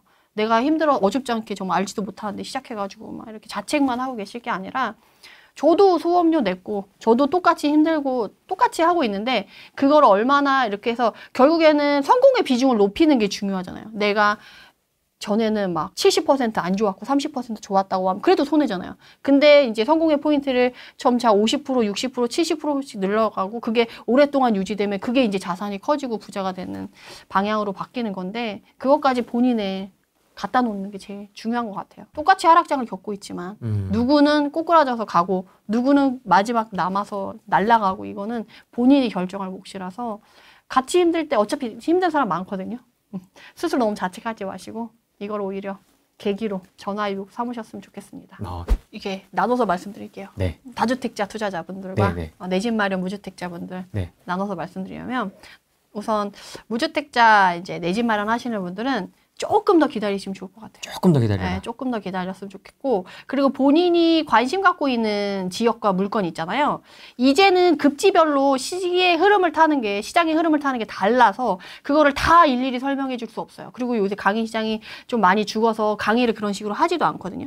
본인의 물건을 본인이 찾아서 가서 가야 돼요. 그래서 본인이 관심 있는 지역 후보 단지를 잡은 다음에 그거의 흐름을 보고 아까 말씀드린 대로 진입 시점을 잡으시면 너무 좋을 것 같아요. 기회는 내가 생각한 것보다 빨리 올 수도 있고 조금 더 늦을 수도 있어요. 근데 그거는 이제 상황에 따라 틀린 거니까 그거를 모니터링해서 보는 게 지금 하락장을 헛되이 보내지 않고 시간 레버리지를 꼭 돈을 들이지 않더라도 그렇게 노력을 들이는 게 심한 시간 레버리지를 할 수 있는 방법이다라고 말씀드리고 싶고 다주택자분들은 드디어 이제 끝나갑니다. 역전세 7월, 8월이면 이제 끝나잖아요. 이제 마무리하시고 이제 하반기 되면 거의 끝날 텐데 이제 매매가 떨어지는 급한 시장 힘든 시간 다 많이 지났고요. 이제 매매가는 어느 정도 천천히 약보합으로 가면서 전세가가 올라줄 거거든요. 그러면 이제 전세가가 반등하면 역전세 났던 부분의 일부분씩 짧게 짧게 회수해 가면서 자금 융통하시면서 어, 자금 마련하셔서 다음 회복장 준비하시면 여러분들에게 또 그 실패가 경험이 돼서 다음 상승장의 날개로 돌아오지 않을까 싶습니다. 조금만 힘내시고 우리 같이 화이팅 하시면 너무 좋겠습니다. 이게 제일 좀 힘들게 했던 부분이 전세가의 하락이었거든요. 그리고 그게 어떻게 보면 약간 이전 정부에서 약간 다주택자를 범죄자 취급하고 어떤 지원들을 다 끊고 그리고 그 우리가 돈을 안 주겠다는 게 아니고 돈을 주고 싶어도 대출을 안 해주거나 뭘 막거나 뭐 이런 식이어서 그걸 못했던 건데 사실은 그 사람들이 어떤 악의를 가지고 한 게 아닌데 꼭 악인이 된 것처럼 했던 것 자체도 그 사람들한테는 상처가 되지 않았을까 싶어요. 그리고 저도 많은 이제 전세자분들과 만나고 이제 돈을 융통해가면서 느낀 건데 합리적인 게 가장 좋은 것 같아요. 누구한테 폐를 끼치고 뭐 이렇게 한다기보다 그래도 나는 그 기본적으로 이제 저 같은 경우는 남한테 폐를 끼치거나 피해를 주지는 않는 선에서 제 이익을 취하려고 노력을 하, 하, 하다 보니까 손해를 보고 전세금을 돌려주거나 아니면 뭐 이런 경우도 꽤 있거든요. 그래서 이거를 꼭 세입자랑 집주인이랑 꼭 적이라고 생각해서 이렇게 파이팅 한다기보다는 서로 조금이라도 이득이 되는 부분으로 서로 합의를 하는 게 앞으로도 중요하지 않을까 싶어요. 왜냐하면 앞으로도 이제 정책적인 문제 이런 것들이 또 분쟁이 충분히 될 수 있는 소지가 앞으로도 많은데 세입자분들도 막연히 그냥 집주인을 그런 식으로 생각하지 마시고 물론 집주인도 다 나쁜 사람도 있고 좋은 사람도 있어요. 딱 봐서 너무 저 사람이 아나무인 나온다 그러면 이제 끝까지 열받으니까 가고 아니다고 하면 이제 서로 절충하셔서 서로 손해 보지 않는 선에서 한 발자국씩 맞추시면 오히려 더 좋지 않을까 싶어요. 네, 좋게 좋게 해결하시죠. 네네. 지붕 땅덩이 좁은 데서 사는데 또 아웅다웅 하는데 아니 왜냐면 소송까지 가면 결국에는 변호사만 돈 벌거든요. 그러니까요. 네, 음. 굳이 그럴 필요가 없어. 적당히 서로 합의를 보고 하는 게 제일 좋은 것 같아요. 빡친다 그러면 우주 다큐멘터리 이런 거 보시면 됩니다. 60억 킬로미터 밖에서 찍은 지구 아, 창백한 푸른 점 해가지고 뭐 지구 이만하게 보이고 그렇죠. 내가 먼지같이 그쵸. 느껴지죠. 네, 그런 거 보면 좀 이렇게 마음이 좀 그래도 이렇게 좀 다스려지거든요. 아 죽일 놈 하다가도 아, 맞아요. 이렇게 갈아지게 되니까 그런 것도 한번 좀 해보시면 좋을 것 같습니다. 저도 이제 끝까지 한번 이렇게 어, 정말 대답 없이 제 벽을 만난 듯한 그런 분을 만난 적이 있거든요. 있죠. 어, 그러면 저도 이렇게 전투력이 이렇게 높은 사람은 아닌데 전투력을 나도 모르게 상승하게 돼요. 어디 있던 걸 이렇게 끌어올리죠. 네, 쫙 거, 어. 없던 걸 끌어올리거든요. 그러면 안 좋아요. 정말 미친 듯이 또 전투력을 끌어올리거든요. 그러니까 상대방을 굳이 그렇게 자극할 필요는 없는 것 같아요. 적당하게. 그게 제일 좋은 것 같아요. 다큐 추천. 우주 다큐. 어, 저, 저 링크 하나 보내주세요. 알겠습니다. 오늘 여기까지 하겠습니다. 고맙습니다. 감사합니다. 네, 안녕.